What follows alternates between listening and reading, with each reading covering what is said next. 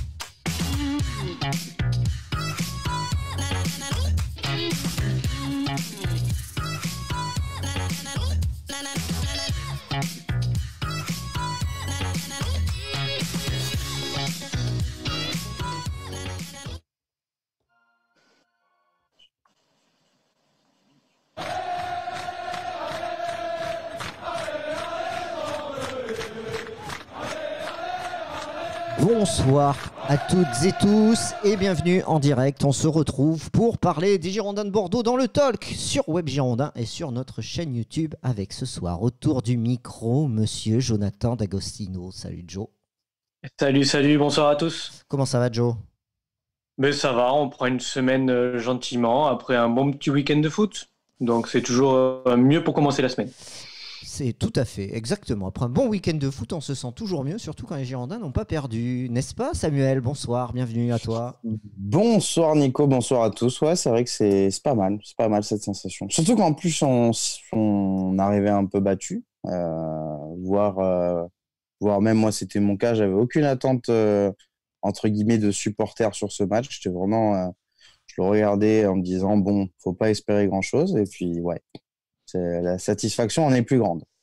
Tout à fait, exactement. Il y a la surprise avec, en fait. Et la surprise avec, puis oui, parce que ça fait deux talks où on ne commande pas deux défaites. Et ça, ça fait mm. plaisir. Moi, j'aime beaucoup les surprises, tu vois. C'est vraiment quelque chose. Euh, C'est vrai qu'on s'y attendait pas. D'ailleurs, on, fera un retour sur les pronostics, hein, ce qui avait été euh, pronostiqué. Ah, mince. Euh, il, y a, il y a un mois de ça. Hein. Joe, tu te rappelles combien tu avais pronostiqué? Pas grand-chose, je sais plus, peut-être 3 points ou 4 points peut-être, même pas. 3 points, c'est ça. 3 points. Bon, Samuel, il se rappelle, puisqu'on a j'ai fait la recherche cet après-midi, on s'est échangé des messages. Euh, tu avais été optimiste j'avais été optimiste, ouais. J'avais été optimiste. Mais je, je, me souviens, dans, dans mon, mes arguments, j'avais dit que Paris avait moyen de prendre un point. Tout à... et, et, que contre Monaco, j'étais pas confiant. Mais j'étais très confiant pour Montpellier et ça, c'est moins bien passé. Allez, je vous remercie. Il y a Conan qui va nous rejoindre dans 5 minutes. Il est, il est arrivé là. Il y a des problème de transport. Et Anif aussi, il nous rejoint dans, quelques minutes aussi. Il coincé, était coincé dans le train, Anif. Donc, euh, ah, il y, a des embouteillaages dans les airs pour Conan Il n'a pas réussi à. Ouais, il n'a pas atterri. Il blindé sur le tarmac, c'est ça? Il n'a pas atterri, il m'a envoyé un, message. Donc, il sera là pour gérer le chat tout et pour euh, gérer vos messages.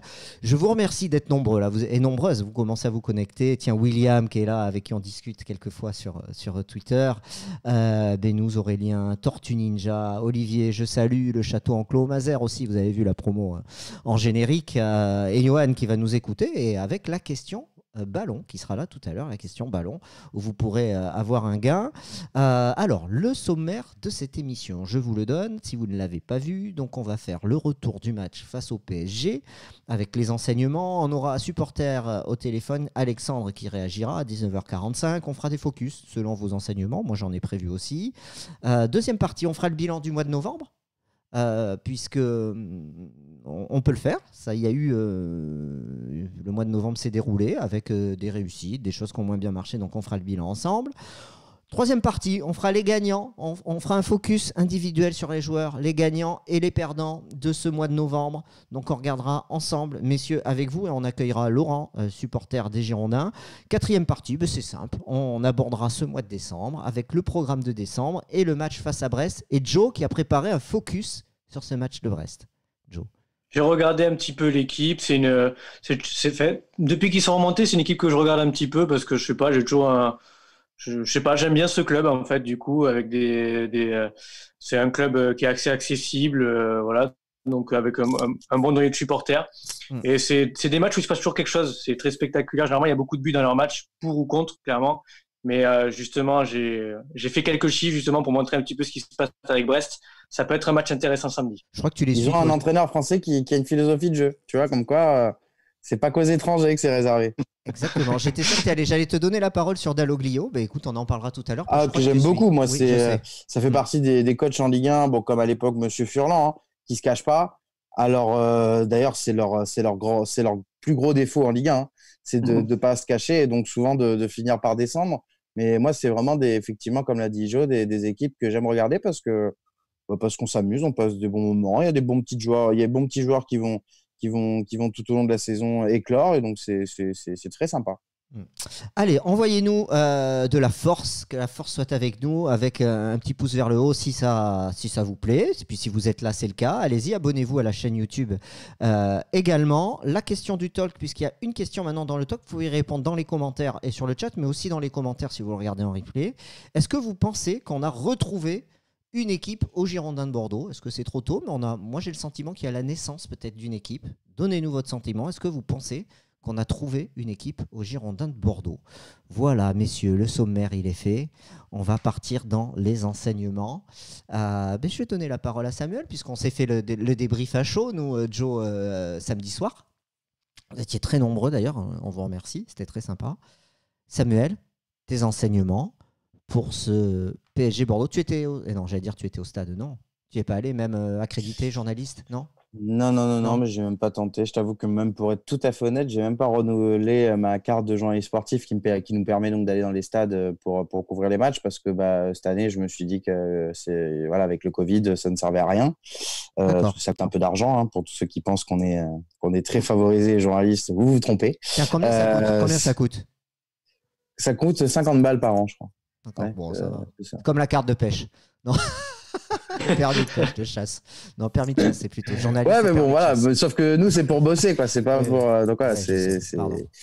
Il y, a peu de gens qui payent pour entrer dans leur entreprise. Euh, il faut le dire.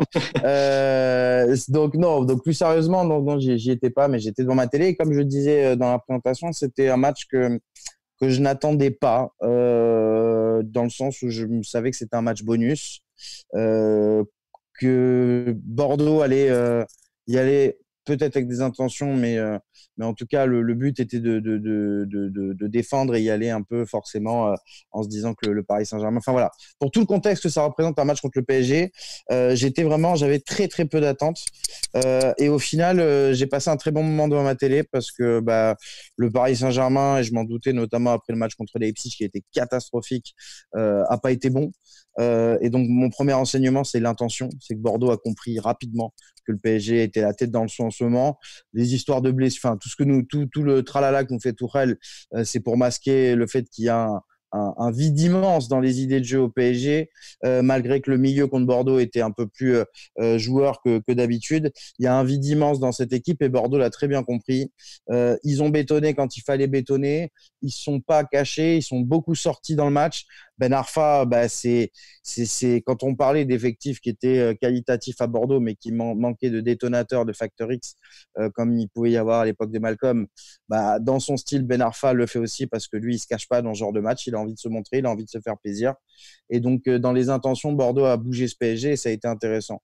Le mm. deuxième point, bah, euh, c'est la continuité par rapport à Rennes.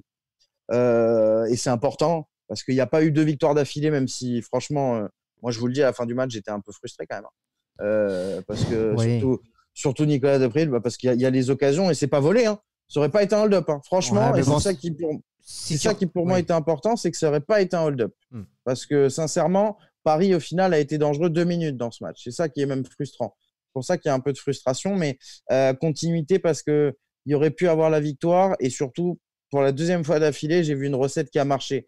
Un 11 quasi identique. J'ai même vu un Wang plutôt correct. Un 11 quasi identique avec des, des, joueurs qui ont plutôt été bons. Euh, on reparlera des performances individuelles, mais même Quateng qui est sorti à la mi-temps bah, je trouve pas qu'il fait une première mi-temps catastrophique. Il faut pas oublier qu'il est en face. Et, euh, et, je pense que, que comment dire que, que est, on, on, est face aux limites de Quateng qu'on connaît depuis longtemps. Hein, pour tous ceux qui le réclamaient sans arrêt, bah, c'est un joueur techniquement limité, mais défensivement qui, a, couvert. Euh, et c'est pas à cause de lui qu'on prend deux buts. Hein. Ça, enfin, c'est pas qu'à cause de lui. Euh, et donc voilà, continuité parce que ces joueurs-là ont brillé, ces joueurs-là ont continué à, faire ce qu'ils savaient faire, euh, et ça permet d'envisager la suite et de d'avoir un vrai test contre Brest pour voir si c'est si c'est si c'est quelque chose qui marche. Et euh, le troisième enseignement, bah, c'est Ben Arfa. Hein, voilà, hein, c'est voilà. Ok, bon Ben Arfa, on va, on, on va, en reparler parce que. On va en reparler, mais qu'est-ce qu'on va dire? Oui, oui, bon, mais c'est lui. On va dire qu'il est arrivé, il s'est dit je suis au Parc des Princes, il y a un milliard de, en face de moi sur la pelouse, bah, je, vais, je, vais, je vais les faire danser toute la soirée. quoi. Ils vont me courir après, j'ai 34 balais, mais ils vont me courir après toute la soirée. Alors, Et ils ont couru après toute la soirée. il a 31 ans. Hein. Pardon, j'ai dit 34. 33, 33 il faisait 87 comme moi. 33 ans. C'est ma génération. Non, mais c'est ça. Ah oui. 33. C'est moi. Oui, oui, 87. Pardon. Oui, 30, 34 ans à la fin de la saison. Non, c'est pour ça. Non, je... Qui c'est qui a 31 ans dans l'effectif? C'est pas de Préville et non, 29. Non, il n'a même pas 30 ans, je crois encore. Mais euh, Costil est de 87 aussi, donc après, je sais pas. Est-ce que vous l'avez lu le livre Génération 87 Tu l'as lu, euh, Samuel, ou pas? Non, pas du tout, mais on va. Je... C'est de Max Andrel qui vient de sortir. On va, on va recevoir Max Andrel, donc je vais le lire dans pas longtemps. D'accord, très bien. Bon, mais les enseignements, c'était les enseignements les plus longs du talk. on est que deux, donc je me suis dit, il faut, combler, il faut combler. Non, non, non, mais, mais les autres doivent arriver. Voilà, toujours. Bon, euh, bon, ce que je, bah, écoute, c'est noté tes enseignements. Euh, Joe, les tiens, tes enseignements, qu'est-ce que tu retiens? À froid cette fois-ci, à froid. Ouais, mais ça, rejoint un petit peu ce que j'ai dit samedi. C'est ben, la première, euh, la première impression, c'est quand même une confirmation d'état d'esprit retrouvé et, euh, d'un système euh, qui se confirme. C'est la première fois quand même qu'on revient au score après avoir été mené cette saison. Ça montre quand même, ça montre quand même qu'il y a une évolution quelque part dans ce cadre-là, donc c'est plutôt intéressant. un axe fort défensif, Costil, Koscielny, Base, Otavio.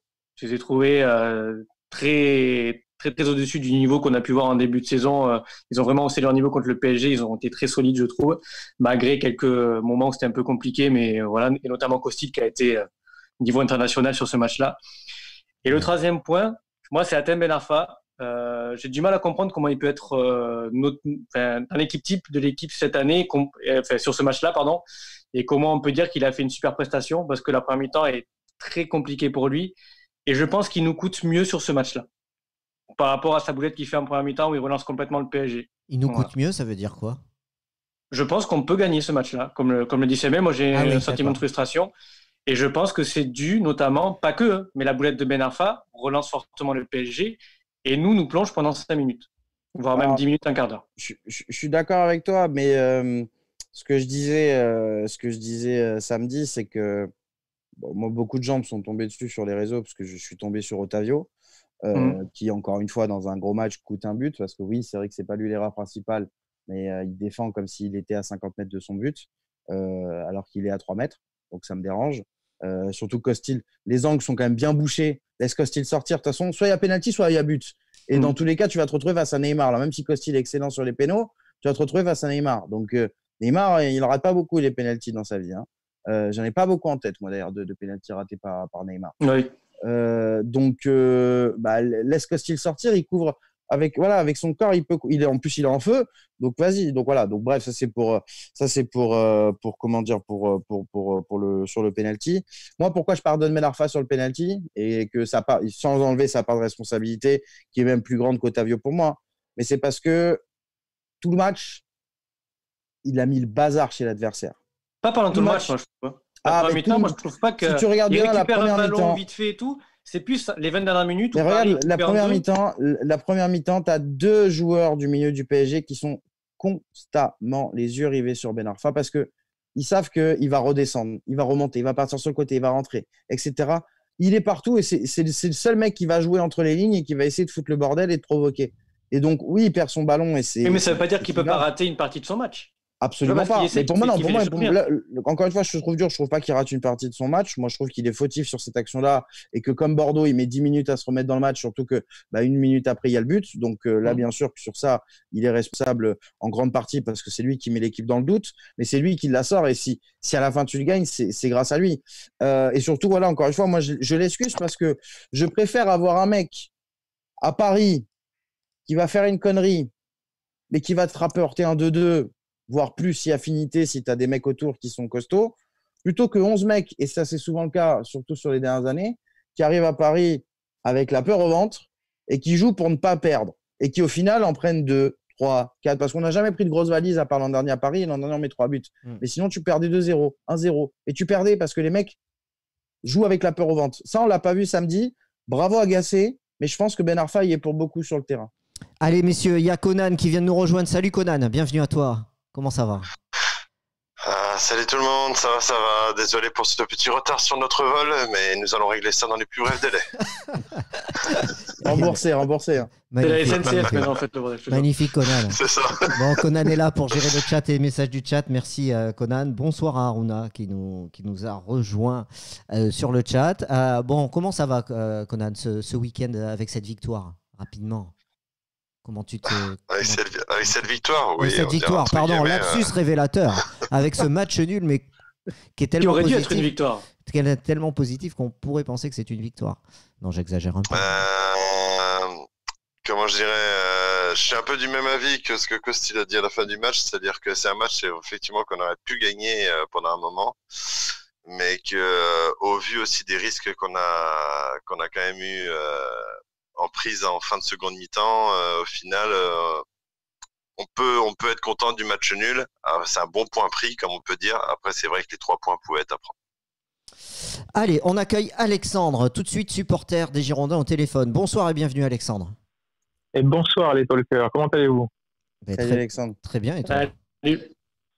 Super, ben, du coup pour réagir sur, euh, sur ce, ce débrief de, de, ce PSG Bordeaux, euh, il y a plusieurs points. Euh, vous avez abordé un petit peu au début. Euh, le premier, c'est de se rappeler quand même les joueurs qu'on a en face. Et, même si ils ont la plus grande difficulté en ce moment à jouer en équipe, d'un point de vue individuel, il y a quand même des, des pointures.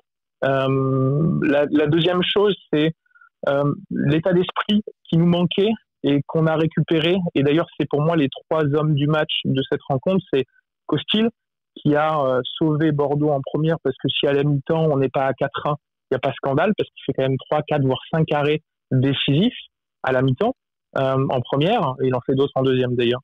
Euh, ensuite, Base, qui moi m'étonne de match en match où je vois un, guerrier sur le terrain à se jeter un peu dans tous les sens. En tout cas, je croise les doigts pour qu'il soit toujours aussi juste dans ses interventions, qu'il prenne pas un rouge comme il, peut avoir tendance à faire. Et puis euh, Ben Arfa, euh, qui, euh, de manière complètement dingue, à, son âge, à 34 ans, après une, une saison et demie elle est quasi vierge, on a l'impression que le mec, il a, il a 29 ans et qu'il est en pleine bourre. il se tape un rush à la 80e minute de jeu euh, et, dribble 3-4 Parisiens avant de la mettre en retrait pour Oudin, qui d'ailleurs, et c'est à l'image un peu de l'équipe qui manque de talent, où euh, bah, à part euh, tirer directement, bah, il n'essaye pas de faire autre chose, alors que de toute façon, il a quelqu'un en opposition et qu'il ne va pas essayer de faire une scène de frappe, il va pas essayer de faire... Voilà.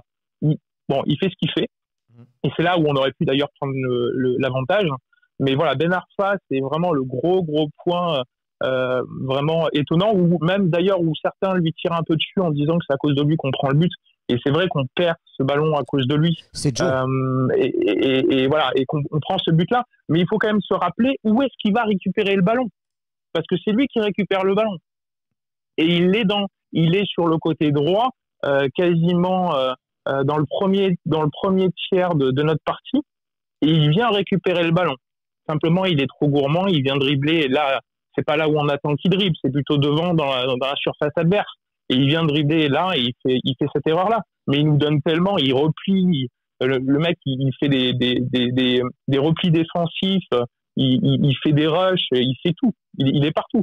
Ce gars est partout. Et on se demande comment, si peut-être qu'il prend de la coke, euh, il, se drogue, mais, euh, mais en tout cas, c'est une vraie interrogation. Donc combien de temps ça va pouvoir durer T'exagères un ouais, peu. ouais, mais non, mais je, je plaisante, mais euh, mais, mais c'est vrai que c'est étonnant. Moi, je m'attendais pas du tout à ça venant de lui. Et quand je le revois à la 80e minute de jeu se faire trois Parisiens pour la remettre en retrait à Oudin, je me dis, mais il reste 10 minutes de jeu, il a couru comme un lapin. Joe, il reste, faut, il faut arrêter le documentaire sur Maradona, Alexandre. Hein. Non, non, mais euh, franchement, moi j'ai re-regardé le match en replay, pour te dire. Je l'ai re-regardé en replay, le match, et, je, et quand tu vois l'action, il passe, a trois Parisiens sur, dans la surface avant de la remettre à Oudin. Hmm. Joe, réponds. Bon, on se fait le débat Ben Arfa tout de suite. Joe, euh, tu as entendu Samuel, tu as entendu Alexandre. Est-ce hmm. que tu as à leur répondre, toi, euh, qui a été plutôt dur dans ta note sur Ben Arfa Tu as mis un 4 sur 10. Tu as mis un 4 sur 10.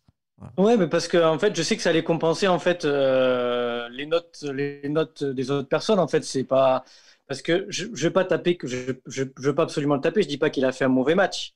Je dis juste qu'il n'a pas fait un match ou un top match.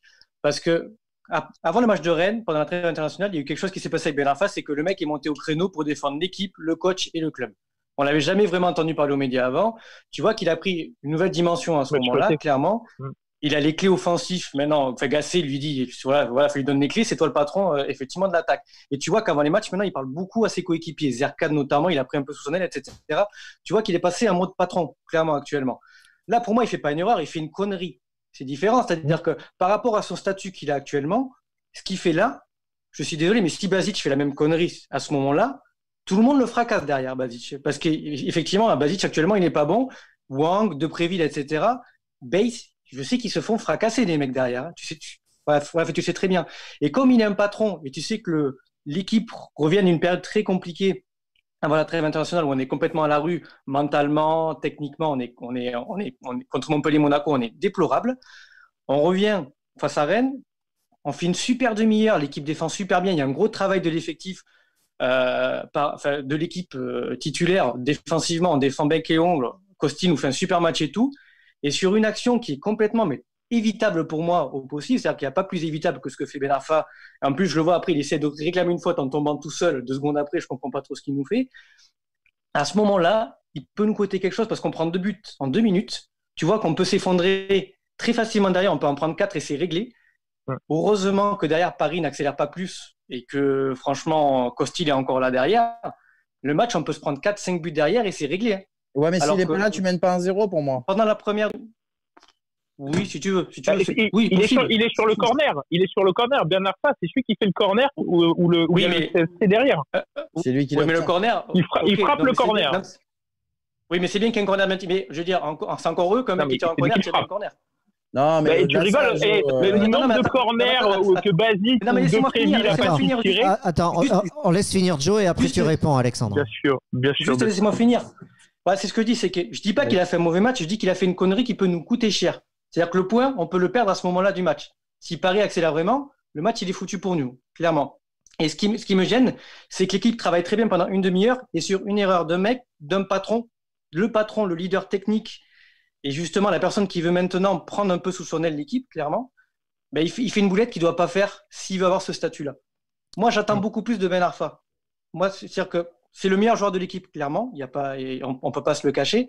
Ce qu'il fait là, s'il veut vraiment être le leader de l'équipe et le leader offensif et technique de l'équipe, il n'a pas le droit de faire ce qu'il a fait. C'est pour ça que je lui en veux sur ce moment-là. Il fait deux passes décisives sur le match, il fait 20 bonnes dernières minutes, il n'y a aucun problème à ce niveau-là. Mais je peux pas dire qu'il a fait un bon match parce qu'il peut nous coûter beaucoup plus. Et par rapport à son statut et son niveau, je suis désolé, mais moi j'attends beaucoup mieux de Ben Arfa. Ou sinon, Allez. on reste dixième et puis on Mais attend. moi, je suis d'accord avec toi. S'il fait ça contre Brest, je- je- Joe, c'est ça le problème. S'il fait ça contre Brest, effectivement, c'est c'est problématique. Parce que contre Brest, il met l'équipe dans le jus. Là, le problème au, au parc, c'est que tu es face à une équipe qui t'est supérieure qui est, et tous tes joueurs sont, même s'ils ont été tous sérieux, n'ont pas les qualités pour aller inquiéter cette équipe. Et lui, il inquiète cette équipe et tu repars avec le point du match nul. Il fait ça contre Brest. Il y a deux partout. Je le défonce. Tu me connais. Je suis le premier à le défoncer le lundi. Là, il te fait ça le samedi et derrière, tu fais 2-2. Et si Depréville. Euh, et si Ah, mais si on Depréville, prend il- 5-1.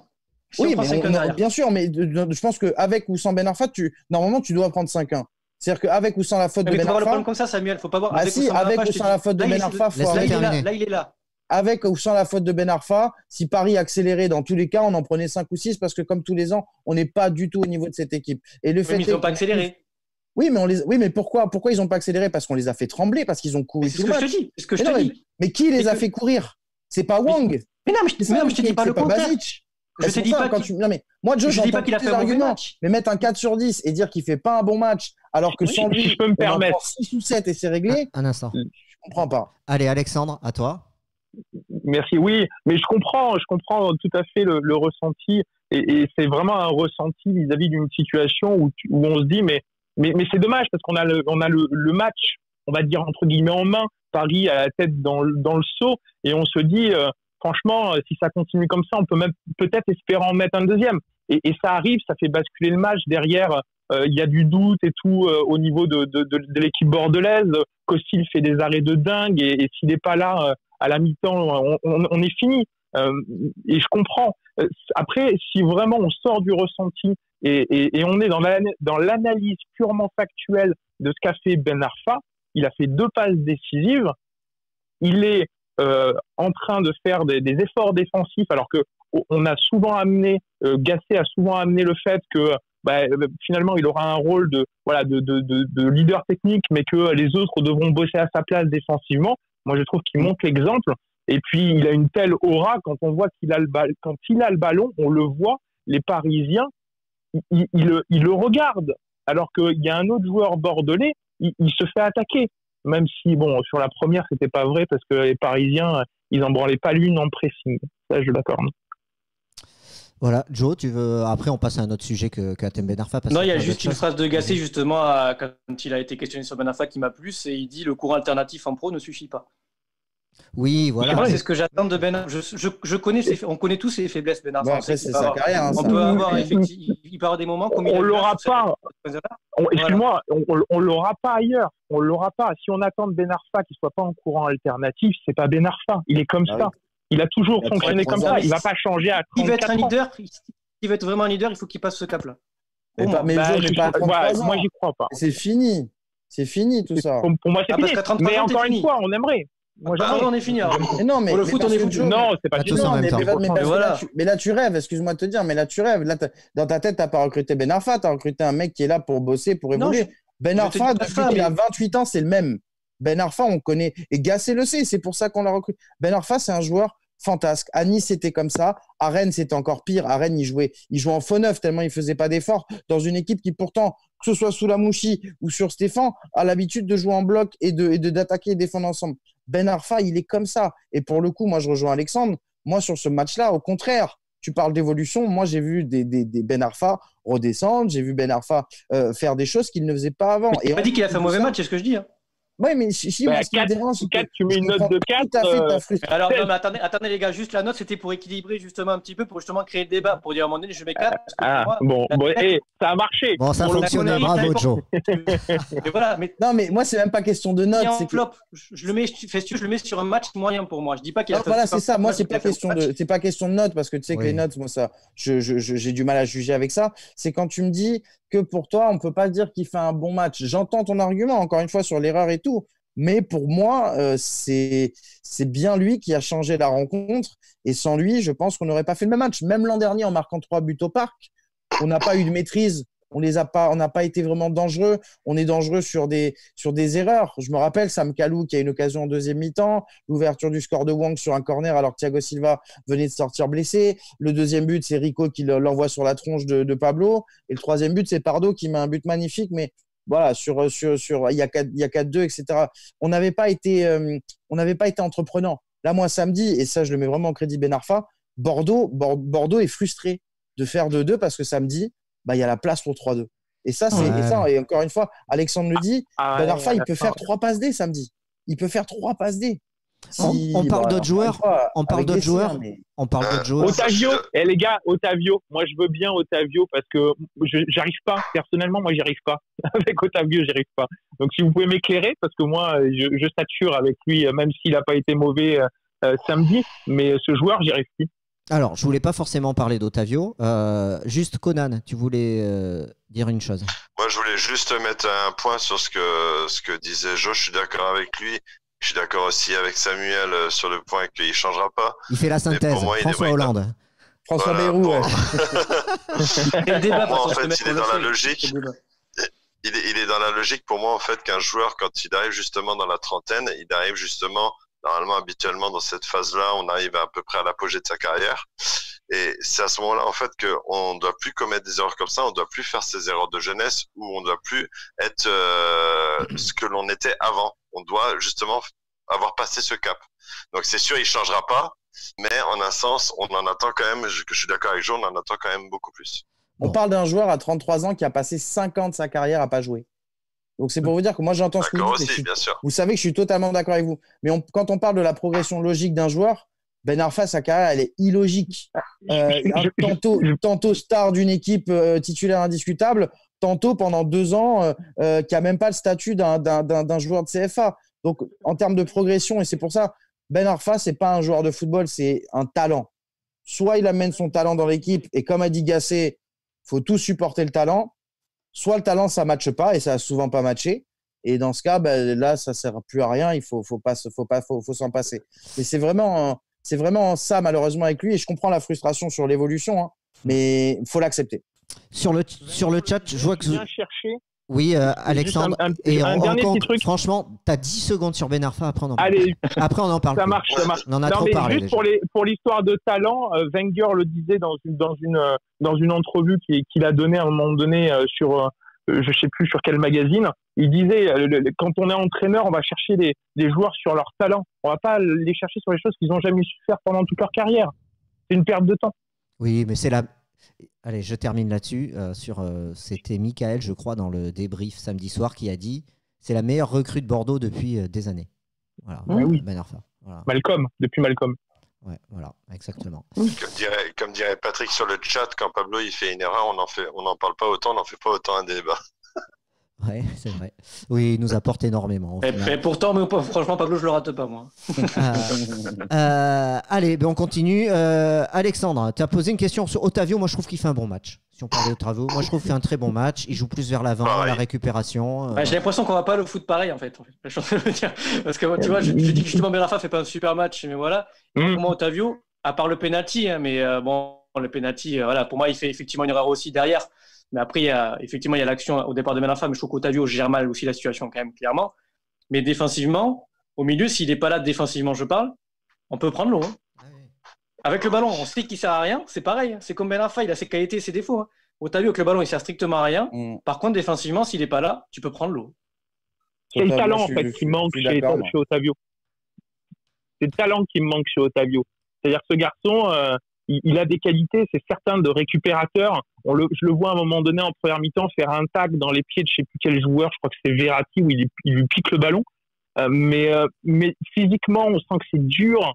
on sent qu'il ne tient pas le choc. Et, et, techniquement, on se sent hyper limité. Et moi, j'ai du mal à me projeter sur potentiellement quelle, voilà, quelle amélioration il peut avoir. et je ne le vois pas s'améliorer techniquement. Et c'est ça qui me pose problème au milieu. Tu restes avec nous encore un petit peu, Alexandre. Messieurs, donc là, on a parlé je, vais dire du bon match de Ben Arfa, même si Joe. voilà. Euh, on a parlé d'Otavio, mais il y a quand même euh, autre chose. Est-ce que, euh, puisqu'on on va faire quand même le collectif avant de revenir sur l'individuel avec les notes, est-ce que Bordeaux n'a pas trouvé une équipe? Est-ce que ça fait deux fois qu'il reconduit la même organisation? Est-ce que Jean-Louis Gasset, il n'a pas trouvé, il a pas trouvé son équipe? Réponse contre Brest. Hein, après, ouais. Oui, ça réponse, réponse contre Brest avec, euh, j'espère, Sam Kalou mm. à la place de Wang, même si Wang n'a pas fait un mauvais match samedi, parce que, enfin, en tout cas, il a. Ouais, mais Kalou, c'est mieux. Il y avait un peu plus d'intention, mais bon, Kalou, c'est voilà, c'est plus que mieux. C'est Kalou, c'est le détonateur de cette équipe. Pas le même on, jeu. on parle de Ben Arfa, mais euh, moi, franchement, quand Kalou est dans l'équipe, je trouve qu'on a une autre gueule aussi. Ça en dit long.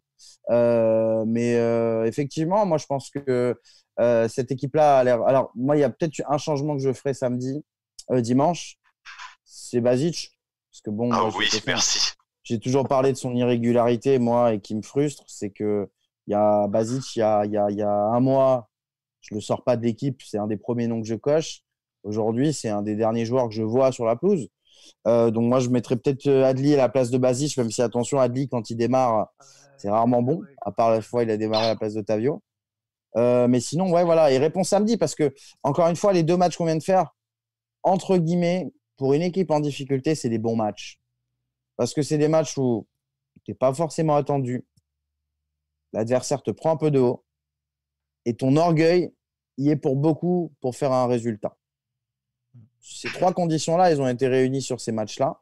Et tant mieux. Dimanche, il va y avoir une quatrième condition. Ça va être de faire. Enfin, ça va être de, de montrer du caractère, de faire le jeu. Moi, ce que j'ai vu à Paris, J'en doute pas. Maintenant, attention, Brest, c'est une petite équipe, mais qui On en joue bien mieux que toi, qui est bien mieux cadrée. Si jamais cette équipe-là, elle arrive à faire un bon, une belle prestation contre Brest, même si éventuellement il y a une défaite, hein, attention, même si éventuellement il y a une défaite, là, on pourra se dire Gassé a trouvé son, son 11. Mais ce qui m'inquiète, c'est que il a trouvé son 11, mais tous les joueurs qui sont derrière le 11, ça va être compliqué de les impliquer. Hein. Euh, dernier, juste avant de libérer Alexandre qui est au téléphone, euh, Alexandre, est-ce que tu penses que Gasset il a trouvé la bonne formule en termes d'organisation et de joueurs? Bah, S'il reconduit déjà sur deux matchs à peu près le même 11, même si en effet Kalou euh, il manque et c'est vraiment les deux détonateurs avec Ben Arfa de, de l'animation offensive, je, pense qu'il a de toute façon tout intérêt à garder cette, cette assise-là de toute manière, il implique le banc en faisant rentrer. Euh, on a vu à un moment donné Oudin de Préville, on voit Wang prendre la place de Kalou. Donc, euh, il, installe à un moment donné euh, un turnover pour qu'il y ait une certaine implication et, une décision qui peut aussi arriver du banc, même si de Préville n'a pas été foutu de faire autre chose qu'un vieux tir pourri du gauche face aux gardiens parisiens. Et ça, c'est dommage. On aimerait qu'il puisse à un moment donné saisir sa chance. Mais, mais oui, je pense que c'est plutôt de bon augure. Euh, encore une fois, il faut garder la tête sur les épaules et ça, faut espérer que les trois piliers de l'équipe, que sont Costil, Bass et Ben Arfa, euh, mettent les, les, les, autres sur le bon rail. Parce que sans ces trois-là, ça me paraît euh, complexe d'un point de vue état d'esprit. Parfait. Ben, écoute, merci d'être intervenu, Alexandre. On te dit à la prochaine. Soit dans ben, merci à soit dans le talk. Et à bientôt. amusez-vous bien. Ciao. salut. Ciao, ciao. On accueille monsieur Anif Berkan qui est là. Salut Anif. Salut Nico, salut à tous. Comment, comment ça va bah, Un peu euh, fatigué de, cette journée de, transport, mais ça va, ça va. On va dire ça. Hmm. Et eh oui, bon, on a eu un gros débat sur Ben Arfa. Est-ce que je lui posais la question? J'ai dit qu'on n'en parlait pas. Mais euh, allez, ah, j'ai tellement envie de lui poser la question. Comment tu juges son match à Thème Ben Arfa? Ah bah c'est un régal, hein. franchement, ça faisait très très très longtemps que on n'avait pas vu ça dans une équipe euh, bordelaise. Hein. Même, je pense que même Malcolm n'a euh, pas sorti des, des, prestations techniques entre guillemets aussi hautes. Après, Lyon peut-être. Ouais, vrai. Mais sinon, c'est pas le même profil aussi après aussi. Hein. Pas, ouais. ouais. ouais, mais c'est vrai que sinon, bah, ça fait du bien et ça, ça, ça, se sent même dans le jeu de l'équipe. Euh, techniquement, c'est au-dessus. Hein même euh, au-delà de, Ben Arfa, il y a aussi Zerkan euh, qui, apporte une touche technique. Mais c'est vrai que Ben Arfa, c'est du niveau international. Ça faisait longtemps qu'on n'avait pas eu ça et ça, franchement, ça, tire vers le haut l'équipe et puis ça donne un autre intérêt à regarder nos Girondins. Mmh. Est-ce que, alors je pose la question, Joe, est-ce que tu penses que Jean-Louis Gassil a trouvé la bonne formule? Oui, clairement, c'est la première fois que je peux te citer clairement une, un 11 euh, pratiquement titulaire depuis le début de la saison. Maintenant, euh, tu sens que, contre Brest, il n'y aura pas beaucoup de changements. Le seul, effectivement, qui met en doute, c'est Basic actuellement, et c'est peut-être le problème d'Otavio. C'est-à-dire qu'Otavio doit défendre et Basic doit justement s'occuper du ballon. Basic, on l'a vu, n'était pas. Voilà, mais tu mets qui à la place? Adi, je ne vois pas titulaire, et je n'ai pas envie de, refaire des, de replacer Zerkan à sa place parce que je trouve très bon là où il est. Donc. Euh, la seule interrogation est plutôt là pour l'instant, en espérant que Kalou puisse revenir aussi assez rapidement. Mais euh, Maja est le titulaire indiscutable en pointe. Ça fait, je crois qu'il a fait 8 matchs titulaires sur 12. Donc euh, il, a, il a joué en plus 80 minutes en plus. Il a fait un bon La match. défense. Pardon? Il a fait un bon match plutôt. Ouais, il fait un bon match. Il, s'est mis au niveau. C'est vrai qu'il a, il a haussé son niveau en plus contre, contre Paris. La défense, clairement, tu l'as pour moi. Clairement, maintenant, la défense, elle est en place. Il n'y a pas de souci. Elle ne doit, doit, pas bouger. Donc il a trouvé son système. Et il y a aussi quelque chose c'est que l'équipe de Bordeaux est plus haute, elle est presque plus haut aussi. Ça gêne beaucoup l'adversaire, elle récupère des ballons beaucoup plus haut. Du coup, on crée un peu plus de danger aussi. Donc, au-delà du système, la technique, il y a aussi, euh, il y a aussi une volonté d'aller presser plus haut et d'aller justement créer des situations déjà en récupérant le ballon beaucoup plus haut. Anif, c'est la bonne formule. Est-ce que tu as été surpris de ce match face au PSG Est-ce que oh, oui, totalement, puisque tout à l'heure j'écoutais Samuel, il le disait, j'attendais rien particulièrement de, de, ce match, mais c'est vrai que dans le, dans l'animation, dans l'utilisation du ballon, dans le pressing, etc. C'était un, visage qu'on avait quasiment jamais vu euh, à Bordeaux. Donc, ouais, surpris. Et je trouve que ouais, c'est la bonne formule. Puisque tu n'as plus des, des Wang, des, de privés, du coup, tu, tu, récupères une qualité technique qui te permet de ne pas paniquer quand tu as le ballon. Ben Arfa, il panique pas quand il a le ballon. Bon, après, on l'a vu aussi, il perd des balles euh, un peu, un peu bêtement. Mais Zerkan aussi, c'est des joueurs qui maîtrisent le ballon, qui sont pas ennemis avec le ballon. Donc, du coup, ça, ça, ça dégage une sérénité. Euh, Joe, le disait aussi avec Base. Base, il a. D'ailleurs, je, tiens à, faire un petit mea culpa parce que je ne le voyais pas avoir euh, la longévité de, pouvoir être aussi bon euh, dans, la suite de la saison. Je pensais qu'il allait être. allait au fur et à mesure baisser et que Pablo allait prendre sa place, mais finalement, il confirme. Mais ouais, je trouve que c'est la bonne formule parce que ça rééquilibre un peu l'équipe. Ben Arfa, maintenant, on sait qu'on voit qu'il va de plus en plus sur les côtés. Parce que Zerkan, j'aime beaucoup, mais pour moi, c'est toujours pas un, joueur de, couloir. Donc, euh, c'est vrai que ça t'apporte euh, une sérénité. Et ouais, je pense que c'est la, bonne compo euh, pour Gasset, en tout cas avec les joueurs qu'il a là. Allez, j'affiche les notes sur votre écran. Moyenne équipe 5,7. Moyenne de Jean-Louis Gasset 7,2. D'où elles sortent les notes C'est Joe qui donne les notes. Nico donc moi, et euh, je parle de moi à la troisième personne. C'est ton côté Zlatan. Alain Delon. Ça, ça, ça, ça, grave, hein. va falloir que j'arrête. Alain euh, Melon. Et, euh, et Gino. Voilà, et on fait la moyenne. Depuis le début de la saison, c'est ce qu'on fait. donc on voit Costil, 8,3. Bon, on en a parlé. Niveau international. Niveau international, Costil. Eh, Nico, juste un mot sur Costil quand même. Oui, bien sûr. Non, mais un mot, euh, comment dire, un mot fort, euh, parce que moi, je suis un amoureux de Cédric Carasso, vous le savez. Euh, toujours, c'est un de mes joueurs préférés que j'ai vu à Bordeaux. j'ai eu beaucoup de doutes sur le fait que Costil un jour puisse sortir des prestations et faire des saisons à la Carasse. Bah, on n'y est pas loin. On n'y est pas loin, que ce soit dans l'état d'esprit, dans les discours, dans les, dans les performances. Bon, franchement, je suis, même si je l'ai critiqué sur ses sorties cet été, etc. Euh, je, voilà, parce qu'il faut être objectif, mais sincèrement, en termes de performance, en termes de, de mentalité, euh, très content que ce mec-là ait porté le maillot des Girondins. Ouais, c'est du, du, haut niveau, hein, Costil. Il mériterait euh, une équipe plus performante. C'est niveau, niveau, international. Hein. Mm. Et dans l'équipe, il n'y en a pas 10. Donc, c'est ça. faut profiter. Ouais. Un autre mot, messieurs, sur Costil? La, parade contre Mbappé, le face-à-face qui gagne contre Mbappé, même si Mbappé, je trouve effectivement gère mal la situation, mais mm. euh, il attend bien, il attend bien avant qu'Mbappé fasse un choix et tu vois qu'Mbappé n'est pas, il pas au top actuellement, mais tu vois que il est un peu dérouté par le fait que Costin ne montre consigne avant qu'il avant qu'il prenne une décision et c'est ce qui fait qu'il gagne le duel derrière. La, la lucidité qu'il a à ce moment-là, parce que le match peut basculer à 3-1 et c'est plié pour eux clairement à ce moment-là il nous maintient dans le match euh, où il y a peut-être 2-2 peut-être déjà même, je sais plus. Mais bon, bref. pour moi, c'est une... Pour moi, c'est l'une des parades de la saison, en tout cas pour lui, clairement. Et, Et ce duel-là qui gagne face à l'un des meilleurs joueurs actuellement et l'un des futurs grands, je pense, du foot mondial, Et ça montre, ça montre le niveau qu'il peut avoir quand même le gars. Quoi. Voilà.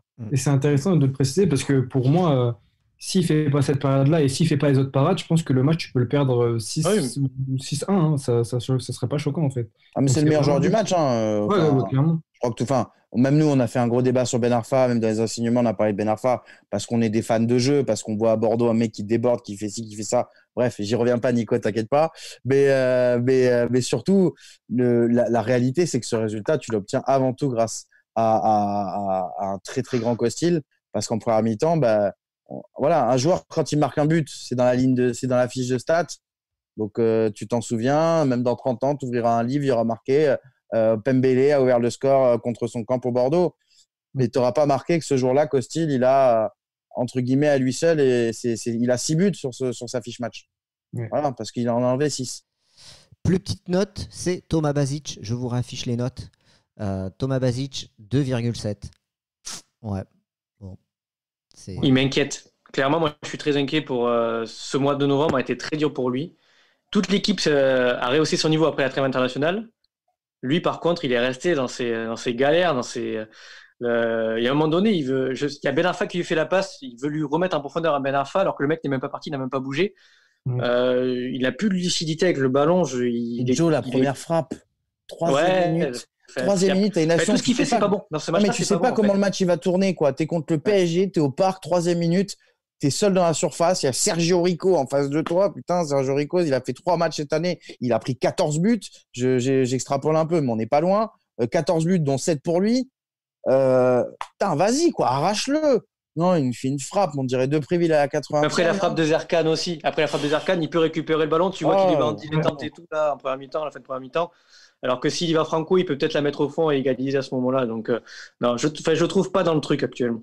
Ce est, ce Il est irrégulier, toute sa carrière, il sera régulier, ce joueur. Ouais, Et est Juste. paradoxal, c'est que il a été sélectionné avec la Croatie là, au moment où il est le moins bon, je trouve, euh, avec nous. Donc c'est un peu étrange. Mais ouais, c'est vrai qu'en fait, le problème avec Basic, surtout ces derniers matchs, c'est qu'il se cache trop dans le milieu de terrain. C'est censé être le leader du milieu de terrain et en fait, bah, tu le, tu le trouves jamais. Et tu vois même des fois dans ses appels où il essaye de limite de se mettre là où on peut pas le, le chercher. Mm. Donc du coup, après, logiquement, il n'est pas en confiance et même avec le ballon, il fait toujours les mauvais choix. Euh, Joe le disait avec la passe sur Ben Arfa, il, il lui met euh, sans regarder où il va, la frappe. On sent qu'il est un peu, il est un peu perdu.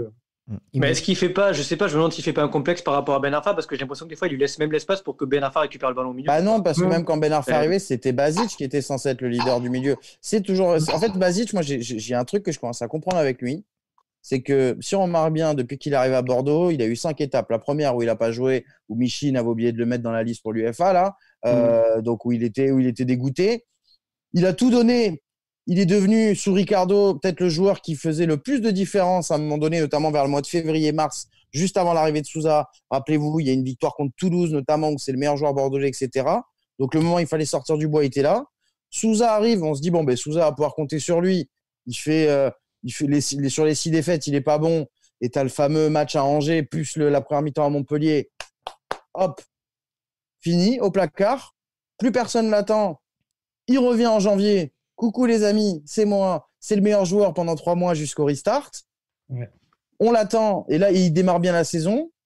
Après, on commence la saison, il n'y a rien. On se dit, bon, ben, ça va être lui un des meilleurs joueurs. Et il repart sur ça. Donc, il y a eu quatre étapes, pas cinq, excusez-moi. Euh, et, sur, et donc là, on, est, on entre dans la quatrième étape où il repart. Comme on l'attend, eh ben, il fait plus rien. Et donc, moi, la solution, c'est quoi? C'est Oust. Hop, c'est bon, il sort du 11. Et dans deux mois, quand il aura passé, euh, quand il aura passé 6-8 matchs à faire 10 minutes, eh ben, on retrouvera Basic euh, au bon niveau. Ce que j'espère, c'est qu'il soit bon jusqu'en mai et que et qu'on puisse le vendre après parce que c'est pas un joueur avec lequel tu peux construire sur une saison. Conan, est-ce qu'il y a des réactions sur le chat Et ensuite, on passe à l'instant promo?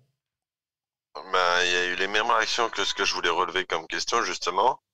Euh, est-ce que justement, à la place de Basic, est-ce qu'on n'aurait pas un défenseur central ou un de nos jeunes qui aurait un potentiel à pouvoir prendre sa place?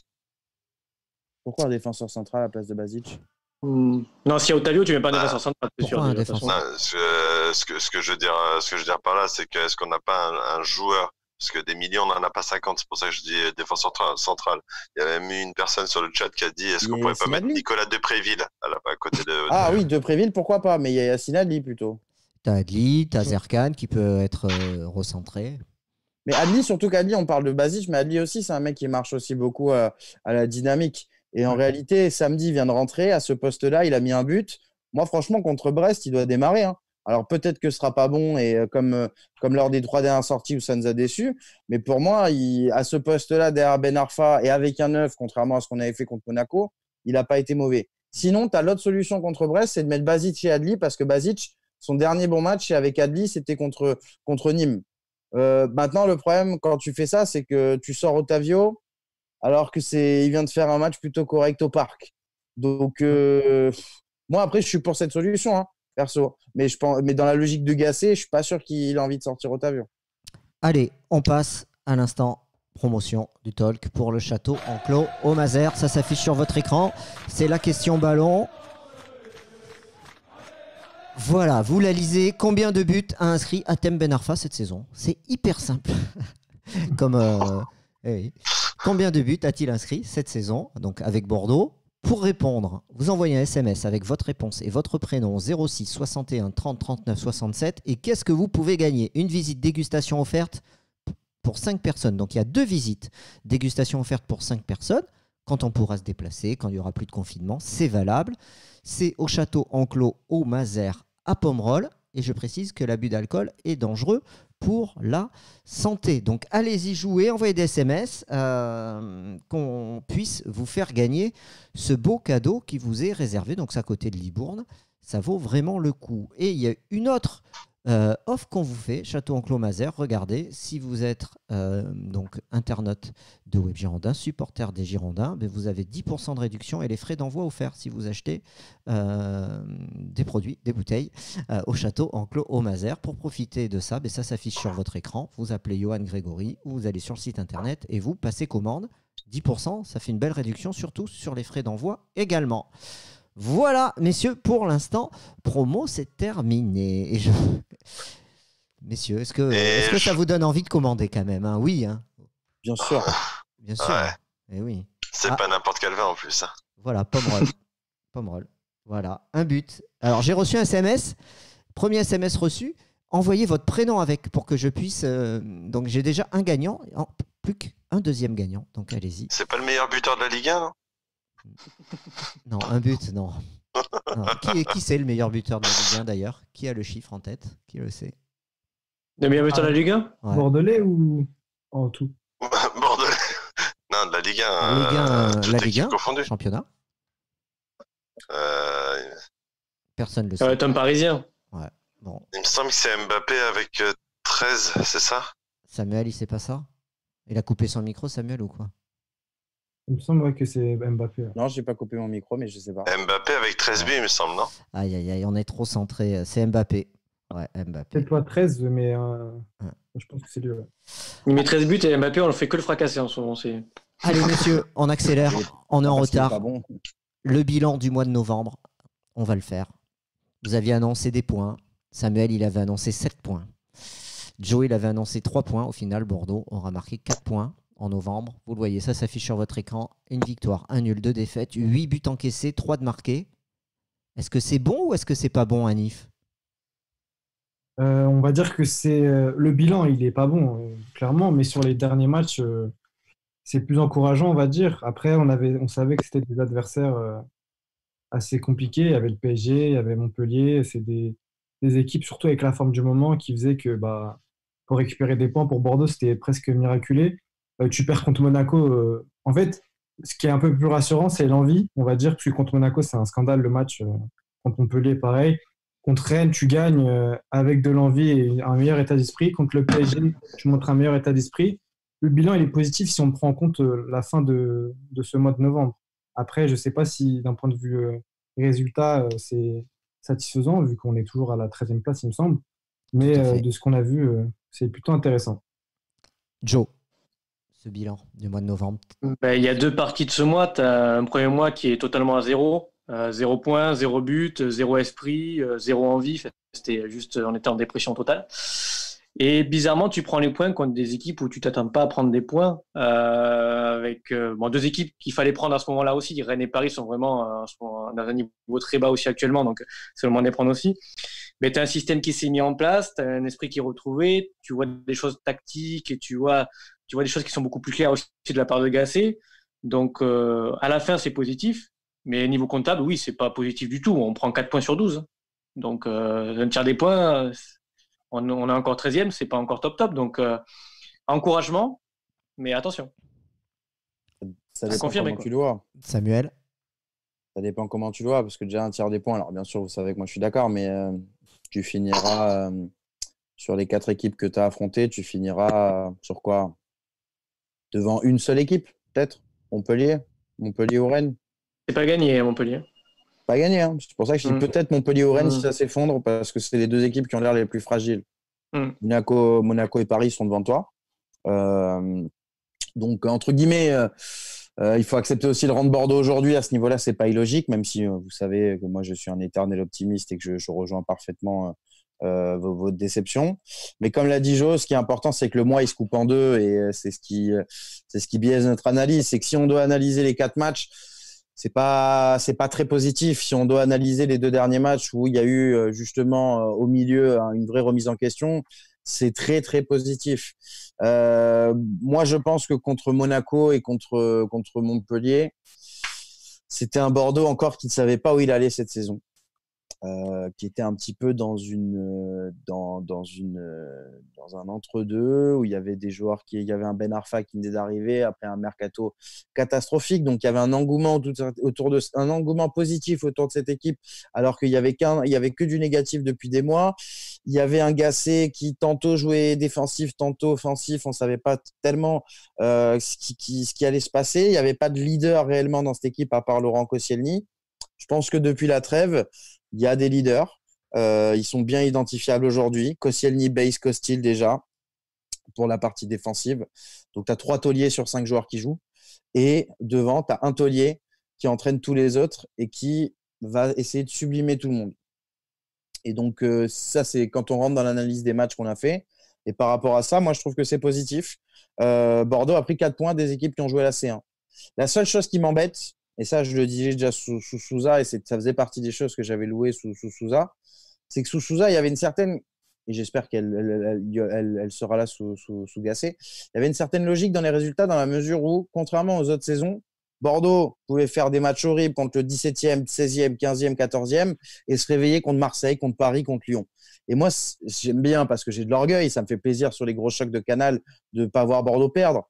Et je me disais que c'était illogique derrière de voir l'équipe faire une passation dégueulasse. Tout l'importance qu'on accorde au match contre Brest samedi. Et là, ce que j'attends, c'est de savoir si effectivement ça va se, retransmettre samedi ce qu'on a vu sur le terrain. Parce que si c'est ça, ça veut dire que Gasset a trouvé la bonne formule et que ce mois de novembre, bah, il a été très positif parce que tu as limité la casse contre des équipes qui étaient toutes meilleures que, toutes meilleures que toi. Et en plus, ça va te servir pour la suite. Conan, je vois Conan sur le chat. Il demande de l'indulgence avec Joe sur le chat.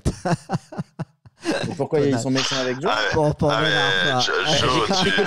Non mais tu vois, j'ai juste mis un doute sur le chouchou en fait, c'est ça, on peut pas. Ah ça, ça, ça, tu sais, moi j'en ai, fait les frais il y a deux mois moi ça. Voilà, tu vois, c'est juste ah oui, pourquoi faut pas critiquer Ben Arfa pour l'instant. Bah, quand Ben Arfa est arrivé, rappelle-toi Nico, j'avais dit que moi je trouvais euh, quand il y avait le choix entre prendre Cyprien et Ben Arfa pour l'équipe ah de l'équipe, je trouvais que c'était ridicule de prendre Ben Arfa qui sortait d'une saison à Rennes pas extraordinaire. Qu'est-ce que j'ai pas pris ça Qu'est-ce que j'ai pas pris dans la tête Bon, allez, ah, justement, on est, là, pour débattre. Hein. On est là pour débattre justement. C'est ça qui fait le charme de cette émission. Euh, Petite question, Jo. Par contre, pour toi, c'est toi qui as les infos là-dessus. Il euh, y en a un qui a demandé si tu sais si Calou va revenir euh, assurément sur le match prochain contre Brest. Je sais pas. Concrètement, les journaux communiquent plus sur les blessés en fait. Du coup, donc on sait pas trop. Moi, on a fait une supposition par, par, par un collègue justement qui travaille dans le dans le milieu médical et qui est kiné. Mais euh, je, je, crois qu'il a repris juste la course, d'après ce que j'ai compris. Il devrait, jouer, je devrait jouer à Brest. Face à Brest, il Je ne suis même pas certain. Maintenant, oui, mais il, aura une demi-heure au minimum. Quoi. Oui. Est-ce qu'il va le faire jouer quand, quand tu vois ce qui s'est passé à Rennes Je ne sais pas.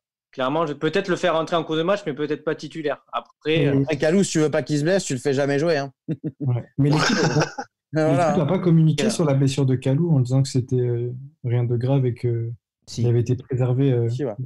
Ouais, ouais tu as raison. Ouais. Exactement. Et, ouais. mais, après, vu, vu, les images, ça m'étonnerait qu'il n'y ait rien derrière. Clairement, quand tu vois que, fait que le mec arrête un effort en plein milieu d'une course, c'est jamais très bon signe quand même. Mais c'est pour ça que Gasset n'a pas pris le risque de le remettre là. Non, non, mais clairement. Mais là, de toute façon, il aurait été trop limité ou il aurait rechuté direct. Enfin, c'était pas. Mm.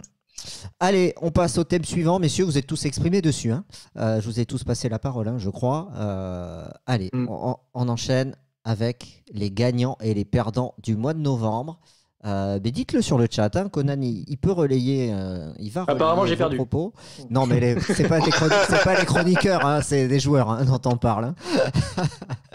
Allez, Anif, je te donne la parole en premier, comme tu as arrivé il y a peu de les temps. Gagnants, les gagnants, je dirais euh, bah, Ben Arfa, mais même si on savait que, que le niveau qu'il avait et que de toute façon, dans une, euh, dans une animation offensive aussi pauvre, il allait surnager. Euh, je mettrais aussi Maja, vu que ces derniers matchs, que ce soit Rennes ou, ou, Paris, il a montré qu'il était beaucoup plus intéressant que ce soit avec le ballon ou même dans le pressing, ce qu'on lui a longtemps reproché. Et ouais, Zerkan aussi, parce qu'il est passé devant Oudin, devant Le Préville c'est un joueur qui, plaît bien à qui avait il avait déjà fait l'éloge du, joueur euh, en, début d'année, donc c'est vraiment un, bon point pour lui. Base, je pourrais, on pourrait citer Base qui a pris un peu la place de, Pablo.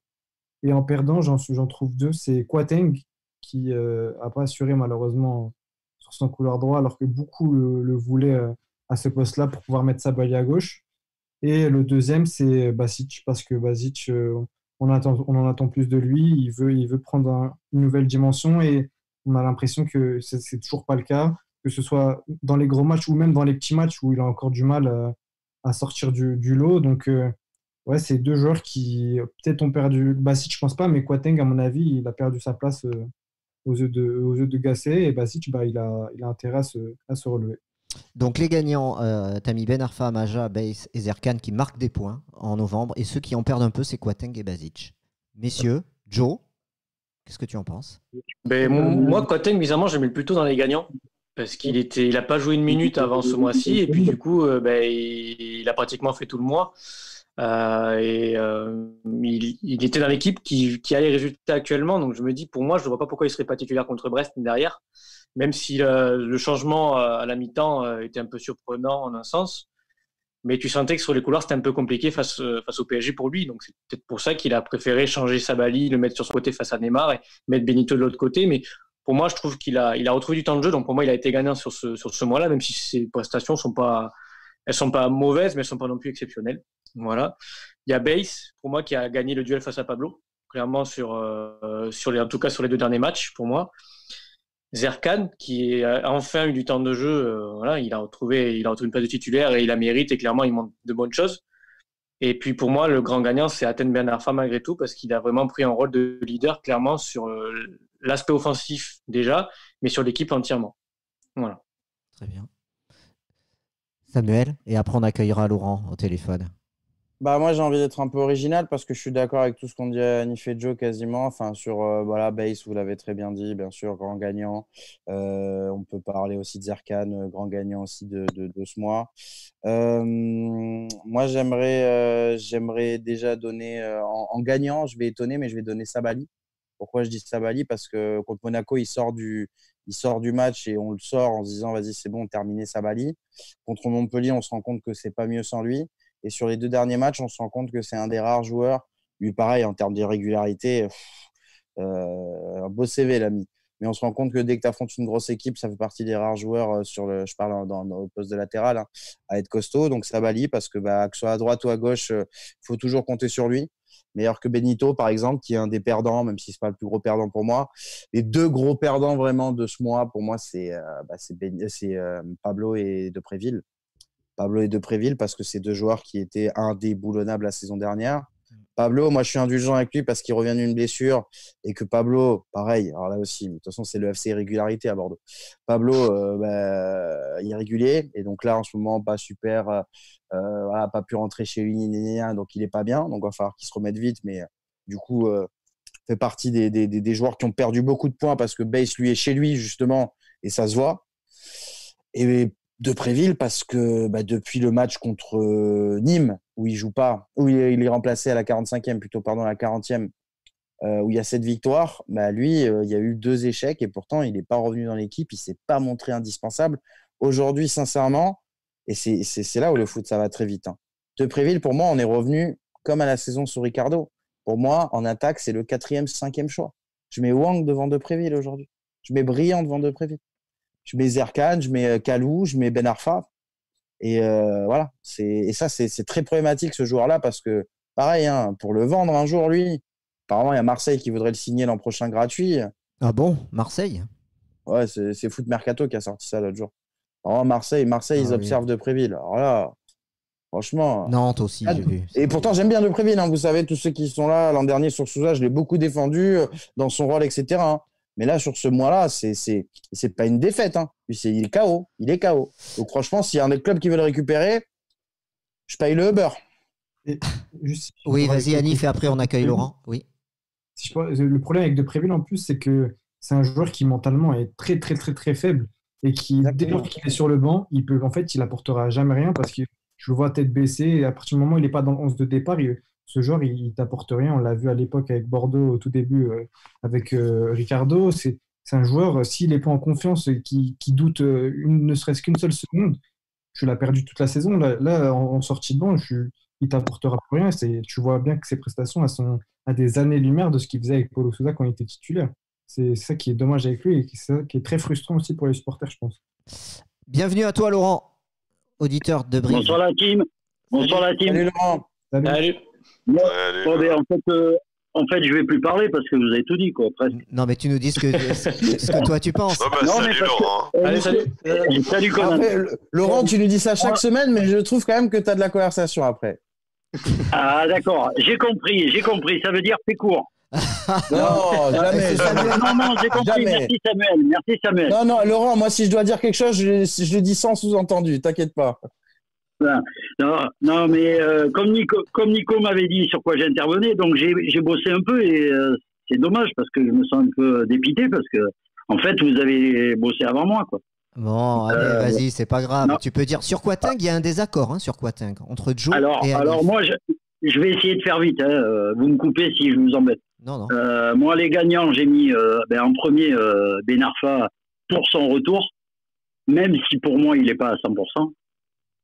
J'ai mis Base pour son état d'esprit et pour son retour aussi, parce qu'un mec qui n'a pas joué depuis un an et demi et sortir les matchs, et je ne sais pas si vous avez vu, mais euh, pendant le match contre Paris, euh, quand il va me faire un ciseau acro- acrobatique, euh, tourner vers son but et pour sortir un ballon et où il s'étend. bon, voilà, il y a tout. Il y a la combativité, il y a l'état d'esprit, voilà, la volonté, enfin, il y a tout. Quoi. Pour moi, il est, un des grands gagnants. Euh, il y a Zerkan qui, qui a de plus en plus de temps de jeu. Euh, il est sur la bonne voie, je pense. Il, est, il peut nous surprendre euh, dans un avenir s'il ne change pas de, de cap. Euh, il y a aussi Maja qui, j'espère, va continuer. Après, c'est trop peu même si il a fait un bon match, c'est trop peu pour voir et parler du futur. Et j'espère qu'il va rester comme ça. Dans Il lui manque le but à Maja, en fait. Il lui faut Oui, ce tout petit à fait. but là. Oui, Samuel, je suis d'accord avec toi, mais par contre, ce que je comprends pas, alors certes, c'est un jeune, il a 20 ans ou 20, euh, 21 ans, euh, mais par contre, il est mal placé. La seule chose que fait de bien de Préville dans le match, et il me semble que c'est lui, si ma tête ne me fait pas défaut, c'est le centre qui passe devant les buts. Où est Maja? Enfin, Je sais pas, moi, je... il n'y a plus qu'à tendre euh, se jeter, quoi, comme un mort de faim, et tendre la jambe et mettre le ballon au fond. Enfin, et voilà, et ça c'est le problème de Bordeaux parce qu'on n'a pas de buteur, on n'a pas de vrai neuf. Donc déjà, après, euh, moi j'ai mis aussi euh, ben, dans les perdants. Alors le premier pour moi c'est De Préville parce que ben, il a ciré le banc et puis on le fait revenir et il montre rien. Je, je cautionne ce qu'a dit, euh, je me rappelle plus de son prénom là, avant, avant An- moi. Anif. Oui, Nice, pardon. Et donc, euh, voilà, pour moi, euh, c'est un gars, je vous avais dit à d'autres émissions que ça fait un moment qu'il est plus à Bordeaux, pour moi, dans la tête. Euh, et puis, je comprends pas sa manière de faire. De, de, tu peux pas, je sais pas, quand tu fais une prestation comme tu fais encore ce week-end, je sais pas, t'as pas d'amour propre, t'as pas, enfin, bon, bref, ça le regarde. Pablo qui est perdant, et, euh, dû à Base, aux, aux bonnes prestations de Base.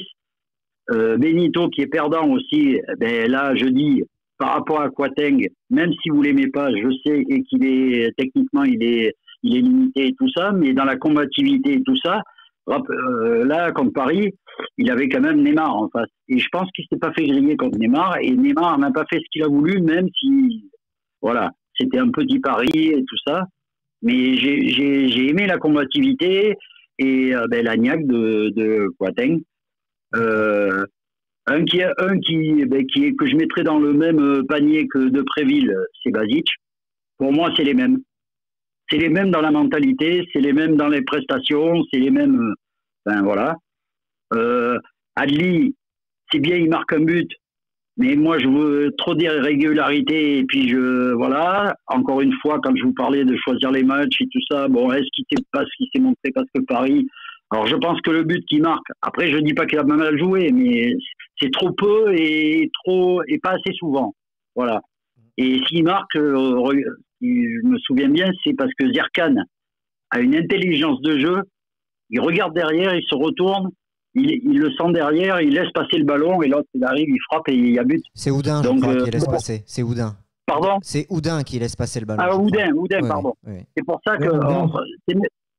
Oui, pardon. On peut aussi le citer dans les perdants euh, de ce mois de novembre. Ouais. Tiens, Anif, euh, est-ce que tu peux rappeler pourquoi tu as mis Quateng dans les perdants? Parce que finalement, c'est le seul joueur sur lequel vous n'êtes pas d'accord tous.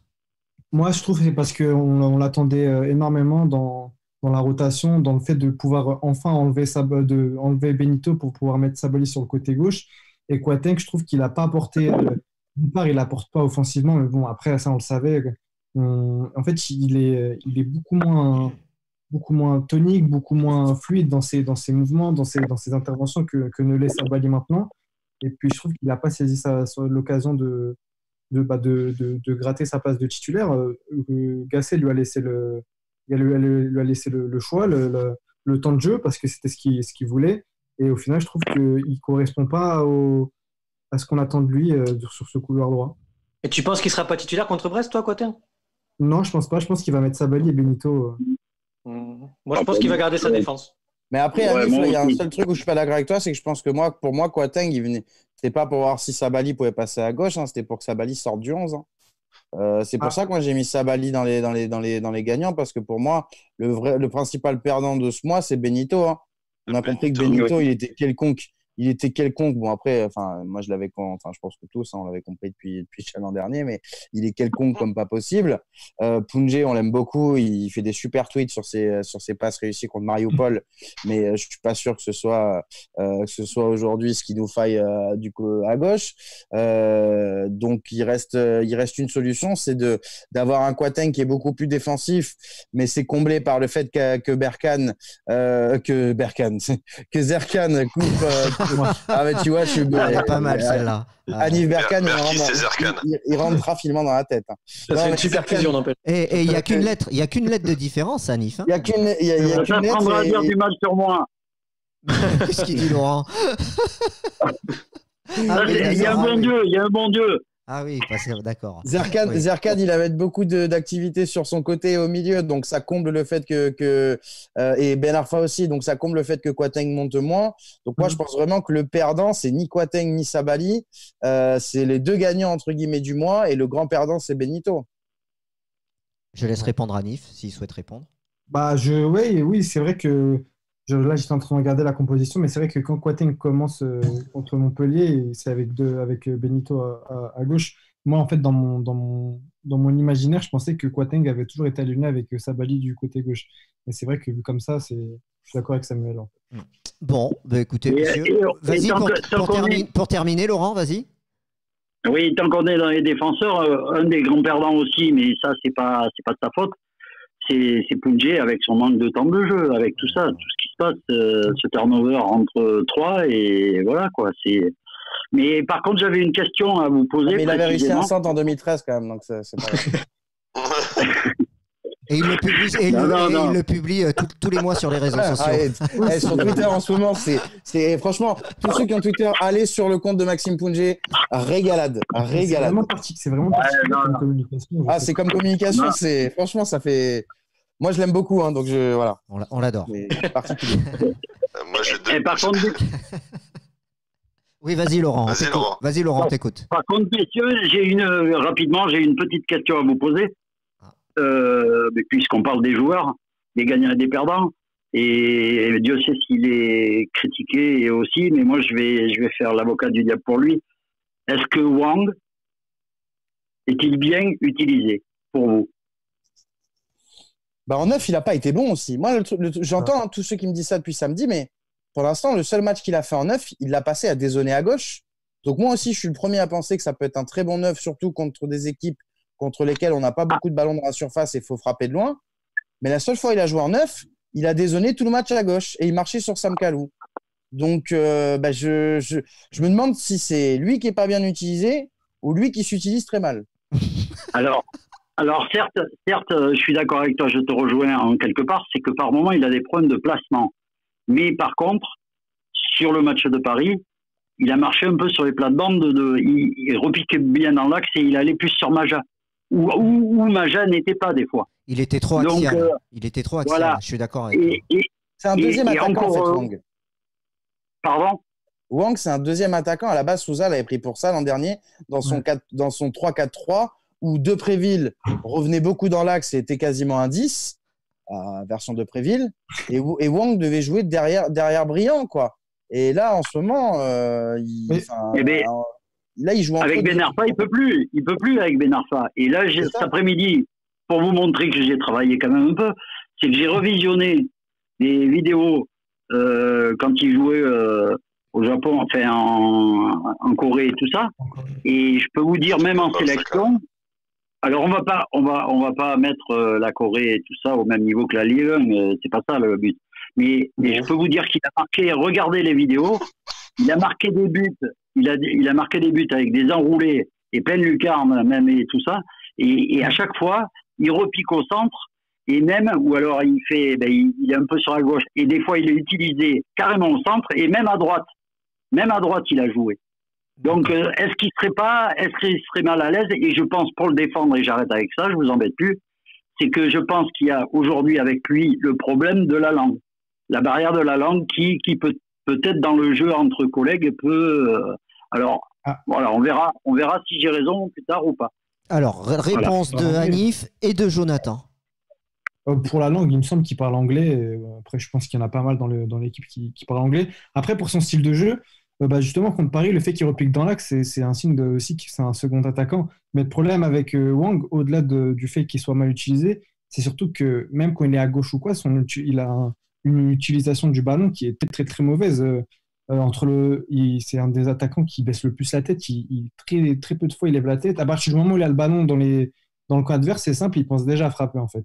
Donc, du coup, tu te retrouves sur des occasions où il est en position de frappe, mais il peut faire des décalages et lui, dans sa tête, il, euh, il frappe, il veut, il veut absolument marquer et surtout qu'il fait souvent les mauvais choix en fait. Et ça, c'est très frustrant parce que dans la construction des actions, souvent, il fait pas la bonne passe, il fait pas le mauvais, le bon contrôle. Donc, c'est toutes ces petites imprécisions-là qui font que, d'une, il n'est pas en confiance. De deux, on sent que même, les coéquipiers, euh, ils ont du mal à, combiner avec lui. Après, moi, franchement, été, au début, j'étais plutôt patient avec lui. Là, je trouve honnêtement qu'il a tout simplement pas le niveau pour, euh, pouvoir jouer euh, avec, Bordeaux. Pour moi, c'est un attaquant. Je sais pas s'il marcherait mieux ailleurs ou parce que j'ai vu aussi des vidéos en Corée. Effectivement, il a une bonne frappe et ça, de toute façon, on l'a tous vu au début de saison dernière. Mais après, c'est, il est trop pauvre, trop pauvre dans d'autres aspects du jeu. Euh, dans le jeu aérien, il n'est pas assez bon. Je trouve qu'il a quand même très limité co- comme, attaquant. Joe sur qui- Attends, attends euh, Laurent, juste Joe. oui, vas-y, vas-y, pardon. Moi, enfin, il a quand même fait 3-4 mois intéressants quand il est arrivé sous Paulo Souza avec ses frappes de balle qui étaient quand même. euh, Il n'y a pas beaucoup de joueurs qui frappent comme lui en Ligue 1. J'ai l'impression quand même cette espèce de frappe flottante là qu'il a que je trouve très intéressante. Moi, je trouvais qu'il frappait plus au but. En première mi-temps, je pense que ce qu'a demandé Gassé, c'est qu'il se ressente et qu'il soit à côté de Maja pour aider Maja, parce que pour moi, Maja est bon avec un deuxième attaquant. J'ai toujours dit, je pense qu'il peut qu'il est bon avec quelqu'un à côté de lui. Et en plus, il y a Ben Arfa qui est en soutien. Donc, je, je pense que c'était pour aider Maja au départ. En seconde mi-temps, c'est là qu'il se crée deux occasions tout seul pratiquement, notamment avec un contrôle. On ne sait pas d'où il sort face à Verratti là sur le côté. sur un contrôle, il arrive à éliminer Verratti. Il arrive à se créer deux situations en un quart d'heure. J'ai l'impression qu'il retrouvait des sensations un petit peu. Sur le contrôle. Maintenant, oui, c'est c'est limité physiquement. C'est tu sens que par rapport à la Ligue 1, c'est très compliqué pour lui. Je pense que c'est un niveau qui est trop dessus pour, pour, pour ses capacités clairement. Et je pense que ça, ça, peut être un bon entrant, mais ça peut pas être un titulaire pour moi. L'action du, l'action du, du centre, c'est, enfin l'action du, du, contrôle là, qui élimine Verratti, c'est vraiment mm. symptomatique du joueur. Il arrive à te faire ça et au, euh, à l'arrivée, il ouais. une, une, frappe dans les nuages alors qu'il peut servir euh, Maja ou en retrait. Ah oui, par contre, après, voilà. Mais, mais après, oui, c'est, par contre, c'est moi, un attaquant qui frappe au but, ça ne me gêne pas. Laurent, tu as 10 secondes. Alors, 10 Ouais, mais moi, mais pour finir avec lui, moi, euh, Bon, c'est sûr qu'il n'est pas comme euh, quand il est, euh, a été à ses meilleurs moments, quand il, au début, là, qu'il arrive à Bordeaux. Euh, je pense qu'il n'est pas assez récompensé par rapport à sa combativité et, et, il fait des efforts et voilà. Après, bon, bref, de ce côté-là, je, je, pense qu'il doit être frustré. Et par contre, ben, pour finir et vous dire au revoir, c'est que ben, j'étais déçu sur l'ensemble du match parce qu'on n'a pas gagné. J'aurais préféré que l'équipe gagne et moi ne pas gagner euh, au Paris sportif. et tu as gagné combien sans indiscrétion? Ah, je ne sais pas, j'y ai pas été encore, mais j'ai gagné, j'avais joué le nul euh, à Paris. D'accord. 100 000 euros. Pareil. Eh bien, écoute, merci pour ta fidélité, Laurent, et à bientôt. Merci Salut. à vous, les gars, et bonne soirée à vous. Au revoir. Ciao. Merci, merci à tous de nous suivre. D'ailleurs, vous êtes plus de 150. Allez-y, envoyez du like. On devrait monter aux 100 likes hein, en direct. D'ailleurs, on est monté à plus de 200 likes euh, sur le, sur le débrief. Hein. Allez-y, ça nous aide et ça nous donne de la force. Euh... Conan, d'ailleurs, est-ce qu'il y a des réactions sur le chat? Je t'écoute. Alors, euh, oui, il y, y, en a deux, dont une d'ailleurs où je suis d'accord avec même les deux en fait dans, un sens. On a eu Black Lazen qui nous a fait une super blague, il nous comprend pas, il a dit why et Nicolas Depréville perdant, je trouve qu'il a gagné sa place sur le banc. c'est drôle. Ouais, belle analyse. Et, euh, analyse.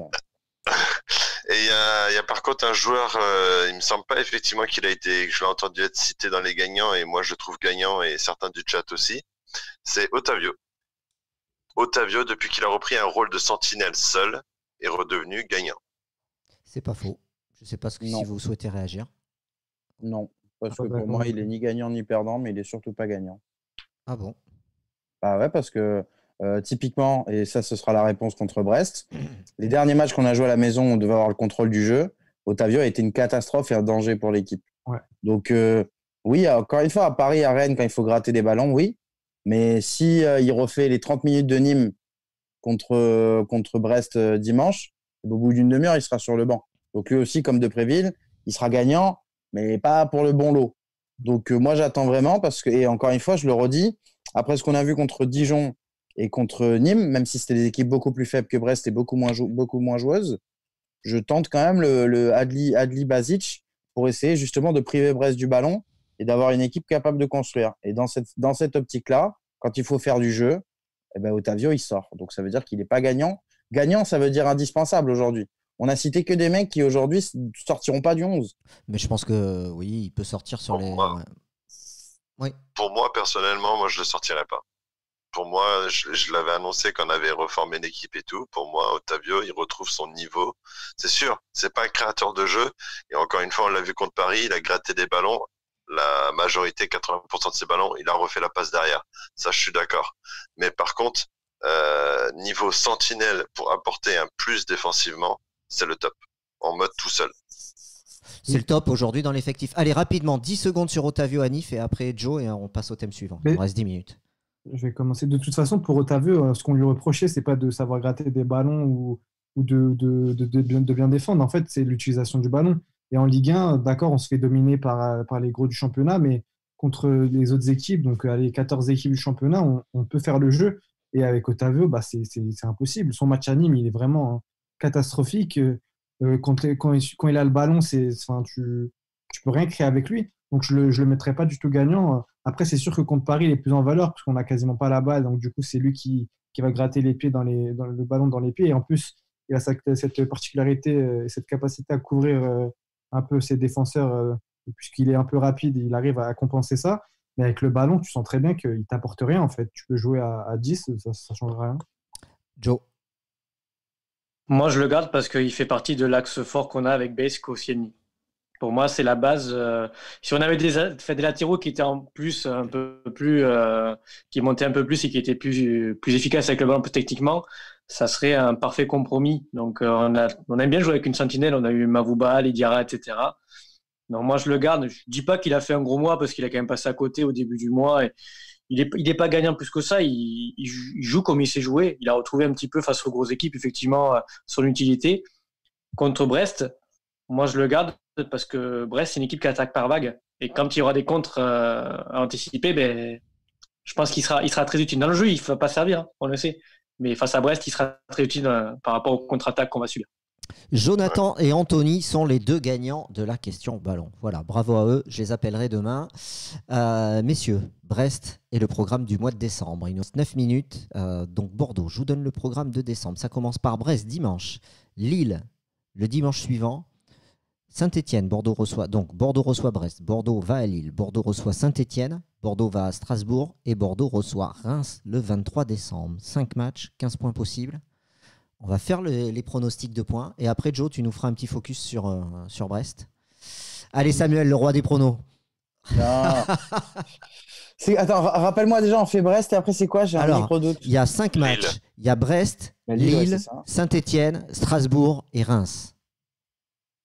Et il n'y a pas de piège, hein, pas de match à l'extérieur ou quoi Alors, Lille est à l'extérieur, Strasbourg est à l'extérieur. On a trois matchs à la maison. Brest, Saint-Étienne, Reims et deux à l'extérieur, Lille et Strasbourg. Ah, attends, 3 x 5, ça fait combien déjà? 15. Euh... non, mais attends, c'est par la base. Euh... Ouais, j'ai envie de te dire entre, entre, entre 7 et 9 points, donc du coup, je vais dire 8. Ok. Anif. Ouais, moi, je dirais 7 parce qu'on rencontre le 15e, le 17e et le 19e. Donc, euh, on va tous les relancer. Donc, euh, ouais, je dis euh, ouais, 7 points. 7 points sur 15. Ça Ah serait. non, euh, Anif, on n'a pas relancé Rennes la semaine dernière, c'est- et ni PSG, donc c'est fini. on- Ah, ça y est, c'est fini cette série. C'est fini, c'est fini, on a enlevé la cape euh, FC relanceur. C'est fini. Ouais, ouais c'est des Les, petits les clubs. relanceurs d'alerte, on nous appelait dans le, dans le milieu. va- Saint-Etienne, je suis, je suis bien sûr qu'on. Je, je sens bien ça. Ah, mais c'est amical, ça, avec Sainté. Ils sont en difficulté. Joe, toi qui es le plus réaliste souvent dans les pronostics. Je sais qu'on n'enchaînera pas les victoires, donc je vais te dire euh, 8 points pour deux victoires et deux nuls. Et une défaite. Alors, ce sera peut-être pas forcément à Lille, hein, euh, qui va jouer sa qualification en Europa League.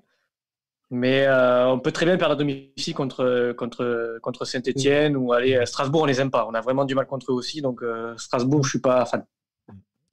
Conan, ton nombre de points sur 15 possible Euh, je vais être un peu optimiste, mais dans le réaliste des matchs, je dirais que, et différence de jeu, je verrai des victoires d'affilée. Donc je dirais euh, qu'on pourrait faire 10 points. 8 à 10 points. Ah oui, c'est beau. 8 à 10 points, c'est beau. hein. Bon, Il y a trois matchs à domicile, ça peut faire trois victoires. hein. Reims, Saint-Etienne, Brest. Ben, moi, je vois, une, je vois une victoire contre Saint-Etienne qui est dans le mal. Je vois Strasbourg qu'on pourrait faire quelque chose, ainsi que, que Reims. Brest, je vois le match nul. Et Lille, malheureusement, je verrai une défaite, à part peut-être sur le crochet nul. Allez, Bordeaux accueille Brest dimanche à 15h. Joe, qu'est-ce que tu peux nous dire sur, ce, sur le stade brestois qui est mieux classé que nous hein? Ils sont devant nous hein, en Ligue 1. Ils sont à deux points devant nous, si je dis pas de bêtises. Euh, eux, justement, ils ont enchaîné une série de trois victoires. Ils sont sur une série de trois victoires, donc ils sont vraiment en grande forme. Ils ont commencé sur un 4-2-3-1 qui a basculé il y a quatre matchs sur un 4-2-2 lors d'une défaite à Rennes. Depuis, ils ont gagné Lille 3-2, Saint-Etienne 4-1 et Metz à Metz 2-0 sur le dernier week-end. C'est une équipe de contre, ils ont rarement la possession, ils ont moins d'occasions que l'adversaire généralement. Euh, la chose, par contre, c'est qu'ils n'aiment pas courir après le score. Dès qu'ils prennent un but, ils perdent pratiquement à tous les coups. Et, par contre, dès qu'ils marquent en premier, ils gagnent pratiquement à tous les coups. Donc, donc voilà, c'est une équipe qui a deux victoires à l'extérieur, Dijon et Metz, donc du coup ce week-end. Aucun match sans but, que ce soit pour l'adversaire ou eux. Il y a toujours des buts sur leur match, 6 victoires, 6 défaites, 21 buts marqués, donc autant que Lille et Lyon. 23 par contre encaissés, deuxième, meilleure, euh, deuxième pire défense après Strasbourg qui est 19e. Donc clairement, les points importants, c'est on va devoir faire le jeu, comme l'a dit Samuel justement tout à l'heure dans l'émission. Ils sont en grande forme, trois victoires d'affilée, ce qui est plutôt rare en Ligue 1. Moins performants quand même à l'extérieur. Ils ont une attaque forte et une défense faible, ce qui est l'inverse complètement de nous. C'est vraiment l'opposé à ce niveau-là. Donc, pour moi, l'élément clé, fait l'un des éléments clés, ça va être l'entame du match. Celui qui marquera en premier prendra une grosse option sur la victoire. Comme j'ai dit, Brest, s'ils marquent un but, ils gagnent souvent. S'ils prennent un but, ils perdent souvent. Et généralement, dès qu'ils prennent un but, ils en prennent un deuxième très rapidement. Un petit peu comme nous, euh, généralement. Donc, l'entame du pour match. les va être mêmes raisons. Pas pour les mêmes raisons. Mais en tout cas, l'entame de match va être capitale. On l'a vu contre Rennes et le PSG. Nos entames de mi-temps ont été très bonnes. Si on fait de bonnes entames de match, on a quand même de bonnes possibilités de gagner ce match-là. Voilà. Messieurs, Samuel, Anif. Non, c'est une équipe très intéressante. Moi, Dalloglio, c'est un coach déjà à Dijon que j'ai toujours trouvé très intéressant. Pour ceux qui qui, qui ont pas trop de qui, qui voient pas trop de quoi on parle, rappelez-vous le Dijon de, de Les Melou et de Loïs Diony, deux joueurs de la maison euh, qui, qui avaient fait une super première saison en Ligue 1 avec ce, ce 4-4-2 hybride. Euh, pourquoi ils ont, pourquoi euh, quand, quand Brest euh, ouvre le score, ils gagnent et pourquoi quand ils euh, prennent euh, le premier but, ils perdent? Parce que quand ils ouvrent le score, ils s'arrêtent pas d'attaquer et donc Mhm. l'équipe en face doute et les vagues continuent. Ils enfoncent. euh, ils sur les scores, ils enfoncent direct. Ils mettent vite un deuxième but aussi. Et dès qu'ils prennent un but, qu'est-ce qu'ils font? Ils se découvrent, euh, ils- enfin ils se découvrent, ils se découvrent pas parce qu'ils se découvrent tout le match. Mais dès que le, dès qu'ils prennent un but, pas forcément envie de, de, de repasser en mode sécure. Non, non, ça continue à attaquer, ça continue à jouer. Et ils sont punis de temps en temps. Mais c'est ça qui est très intéressant avec cette équipe, c'est que franchement, pour les observateurs de la Ligue 1, c'est un plaisir de les voir jouer. Il y a toujours quelque Mhm. chose qui se passe avec eux. Joe disait la défense est un peu plus faible. Ça s'explique surtout voilà, par, par le fait qu'effectivement, euh, c'est une défense qui est joueuse aussi, parce qu'il y a des très bons défenseurs, notamment RL euh, à, à Brest. Et il Euh, de blessure. Il n'était pas forcément titulaire sur les Exactement, dernières. euh, exactement. et c'est- C'était un peu l'inquiétude de d'ailleurs en début de saison. Euh, Enfin, en Mhm. début de saison, euh, je sais pas comment on appelle ça cette année vu la temporalité.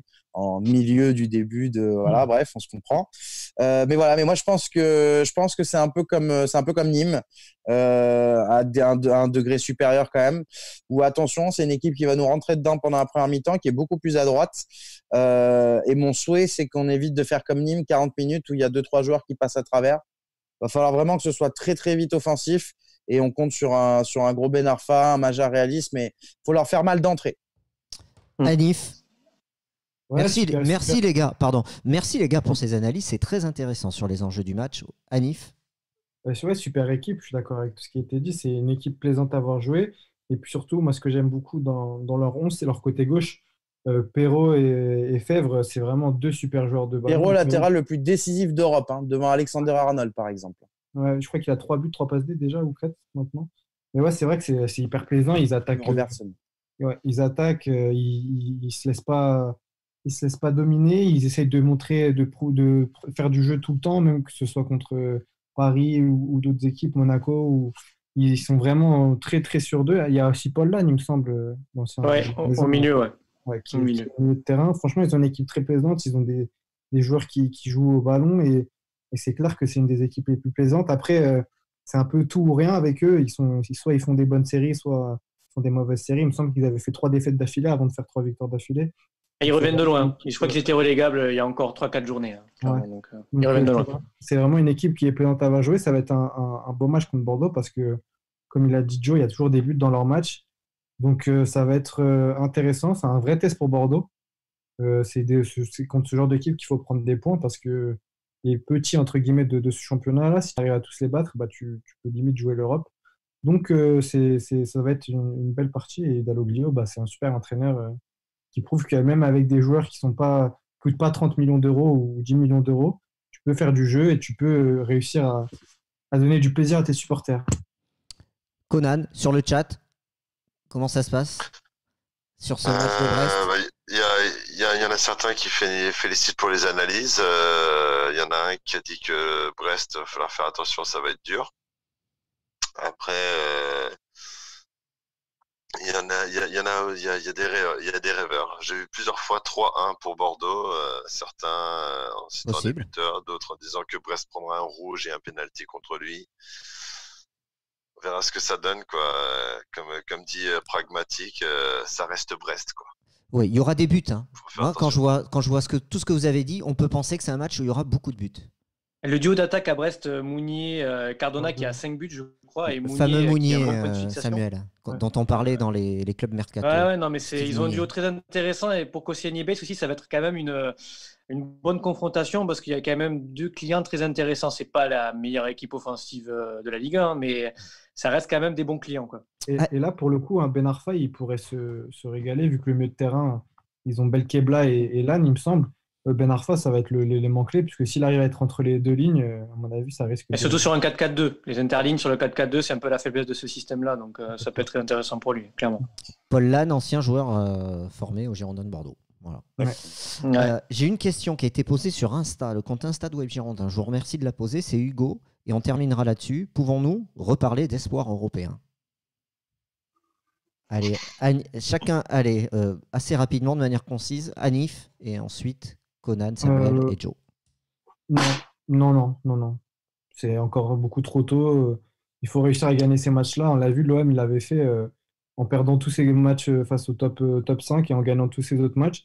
Mais euh, c'est beaucoup trop tôt. Il faut réussir à enchaîner deux victoires déjà. Donc, euh, Très bien. Conan? Alors pour moi, c'est pareil, c'est non, euh, pour deux raisons.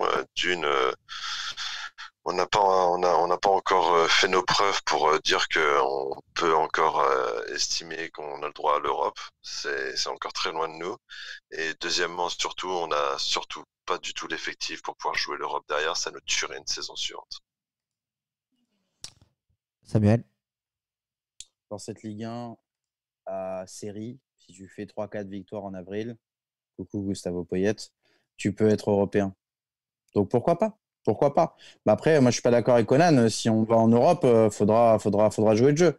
Mais, euh, mais maintenant, avec, euh, avec, avec la cinquième place qui est européenne et Paris qui va gagner la Coupe de France, euh, quoique cette année, ça Euh, mais ouais, voilà. Il y a- justement, j'ai reçu un message là euh, d'un ami qui travaille avec des football Aquitaine. Apparemment, la Coupe de France, c'est quasiment sûr qu'elle n'aura pas lieu cette année. Ouais, le Gret s'est s'est exprimé là-dessus aussi. Il y a une réunion cette semaine. Ouais, mais apparemment, c'est euh, les ligues commencent à être informées dans ce cadre-là. hein. Donc, Comment ça euh, se passe d'ailleurs là, dans ce cadre-là? Ça veut dire qu'il y a six, il y a six places qualificatives, hein, donc c'est La Ligue mieux. 1, voilà, Ah c'est oui. ça. Ça va être la Ligue 1 qui aura une place qualificative en plus. ouais. Voilà. Mais euh, Samuel, t'es pas d'accord avec moi comme quoi que, enfin, tu penses qu'on a un effectif qui sera capable de pouvoir jouer l'année prochaine, par exemple, une Coupe d'Europe plus un championnat Ah oui. et avoir des bons résultats? Bah, il y a intérêt, oui. Bah oui. Si on est là pour ça, non? Sinon, Ah, si sinon on on- recrute, si on recrute, je veux bien, mais si on même si on recrute pas. recrute pas, même si on recrute pas, ça c'est des excuses franco-françaises, faut arrêter. Moi, je connais des... Regarde, le Slavia Prague, le Slavia Prague, ils ont foutu deux branlés en deux semaines à Nice, ils ont 14 joueurs euh, disponibles. Donc, euh, et ils dominent leur championnat. Donc, euh, à un moment donné, et surtout pour le. Tu m'aurais dit avec des champions, je t'aurais dit non. Mais la, la C3, bien sûr que oui. Bien sûr que oui. Joe, t'as pas donné ton avis sur ce débat. C'est trop tôt pour parler d'Europe. Clairement. Euh, Ouais. Surtout quand tu vois le calendrier, euh, Brest, maintenant qu'on va avoir Reims, Strasbourg, euh, Saint-Etienne qui sont un peu à la rue. C'est là qu'on va. Lille, bon, Lille, c'est un, un peu à part pour moi, c'est au-dessus, mais le reste, le reste sont des adversaires qui devraient être à notre portée si on veut en tout cas jouer l'Europe. Donc, on revient de très loin. Il y a, il y a deux semaines, on disait qu'on était, qu'on qu'on jouait la Ligue 2. On va pas se dire qu'on joue l'Europe. Enchaînons d'abord une régularité de résultats et on fera le point à ce moment-là. Pour l'instant, j'ai envie de te dire, on, on est au milieu, c'est tout. En fait, en Ligue 1, tu joues tout.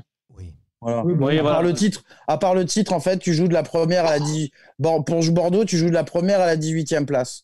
Il y aura toujours deux pires équipes que toi. Et après, tu peux faire une surprise. euh, voilà, et voilà. Voilà. Bon, c'était la- euh, Lille, Oui. Lille, quand on va les jouer, ils auront fait un match de Ligue des Champions avant? Euh, de- Euh, Europa League. ouais. Mais De toute façon, là, ils enchaînent. euh, je crois que c'est euh, toutes les semaines, tu joues Ils trois peuvent, matchs. se qualifier, ils peuvent se qualifier jeudi, Lille. S'ils gagnent, ils sont qualifiés. Donc, on les jouerait, ils seraient déjà qualifiés. Ils auraient potentiellement fait tourner. Mais après, j'ai envie de dire, Lille, de toute façon, il y a équipe 1, équipe 2. hein. Donc, euh, Mm. j'allais dire, voilà. Allez, messieurs, merci beaucoup. C'était la question d'Hugo hein, sur, euh, sur l'Europe. Oui, tu voulais ajouter quelque chose, Joe? Euh, Non, du tout, croyais- du tout. Ah, je croyais. C'était moi. Mais je disais, ça, dépend plus aussi de. Après, il y a le mercato d'hiver. hein. Enfin, je sais pas s'il aura lieu euh, ou quand il aura lieu. Mais euh, si tu, si si tu te t'affaiblis, euh, tu, enfin, tu peux déjà, déjà qu'on a un effectif très limité, tu peux déjà oublier ça. Et si tu te renforces, bah, peut-être tu peux encore plus espérer. Donc, euh, Mercato qui débutera euh, tout le mois, il sera euh, tout le mois de janvier. hein. Il n'est pas prévu euh, que les dates changent hein, sur le mercato. On verra s'il déborde un peu sur février. La saison dernière, et c'était terminé le 2 ou le 3 février, je crois. Voilà. Ouais. Pas prévu, je crois. Bon, Merci à toutes et tous. Merci de nous avoir suivis. Messieurs, merci à vous. Club des 5. Merci à toi, Nico. pour Samuel, merci. Voilà, on a eu, il y a eu trois émissions. Il y a des émissions rapprochées en ce moment. On vous gâte. Si ça vous a plu, euh, partagez la vidéo, likez. Et euh, on vous dit rendez-vous. Prochain direct, c'est euh, dimanche, après le match, le débrief à chaud, à 17h. Voilà. Merci à tous et au revoir. Bye bye. Bonne soirée. Ciao. Ciao. Bonne soirée.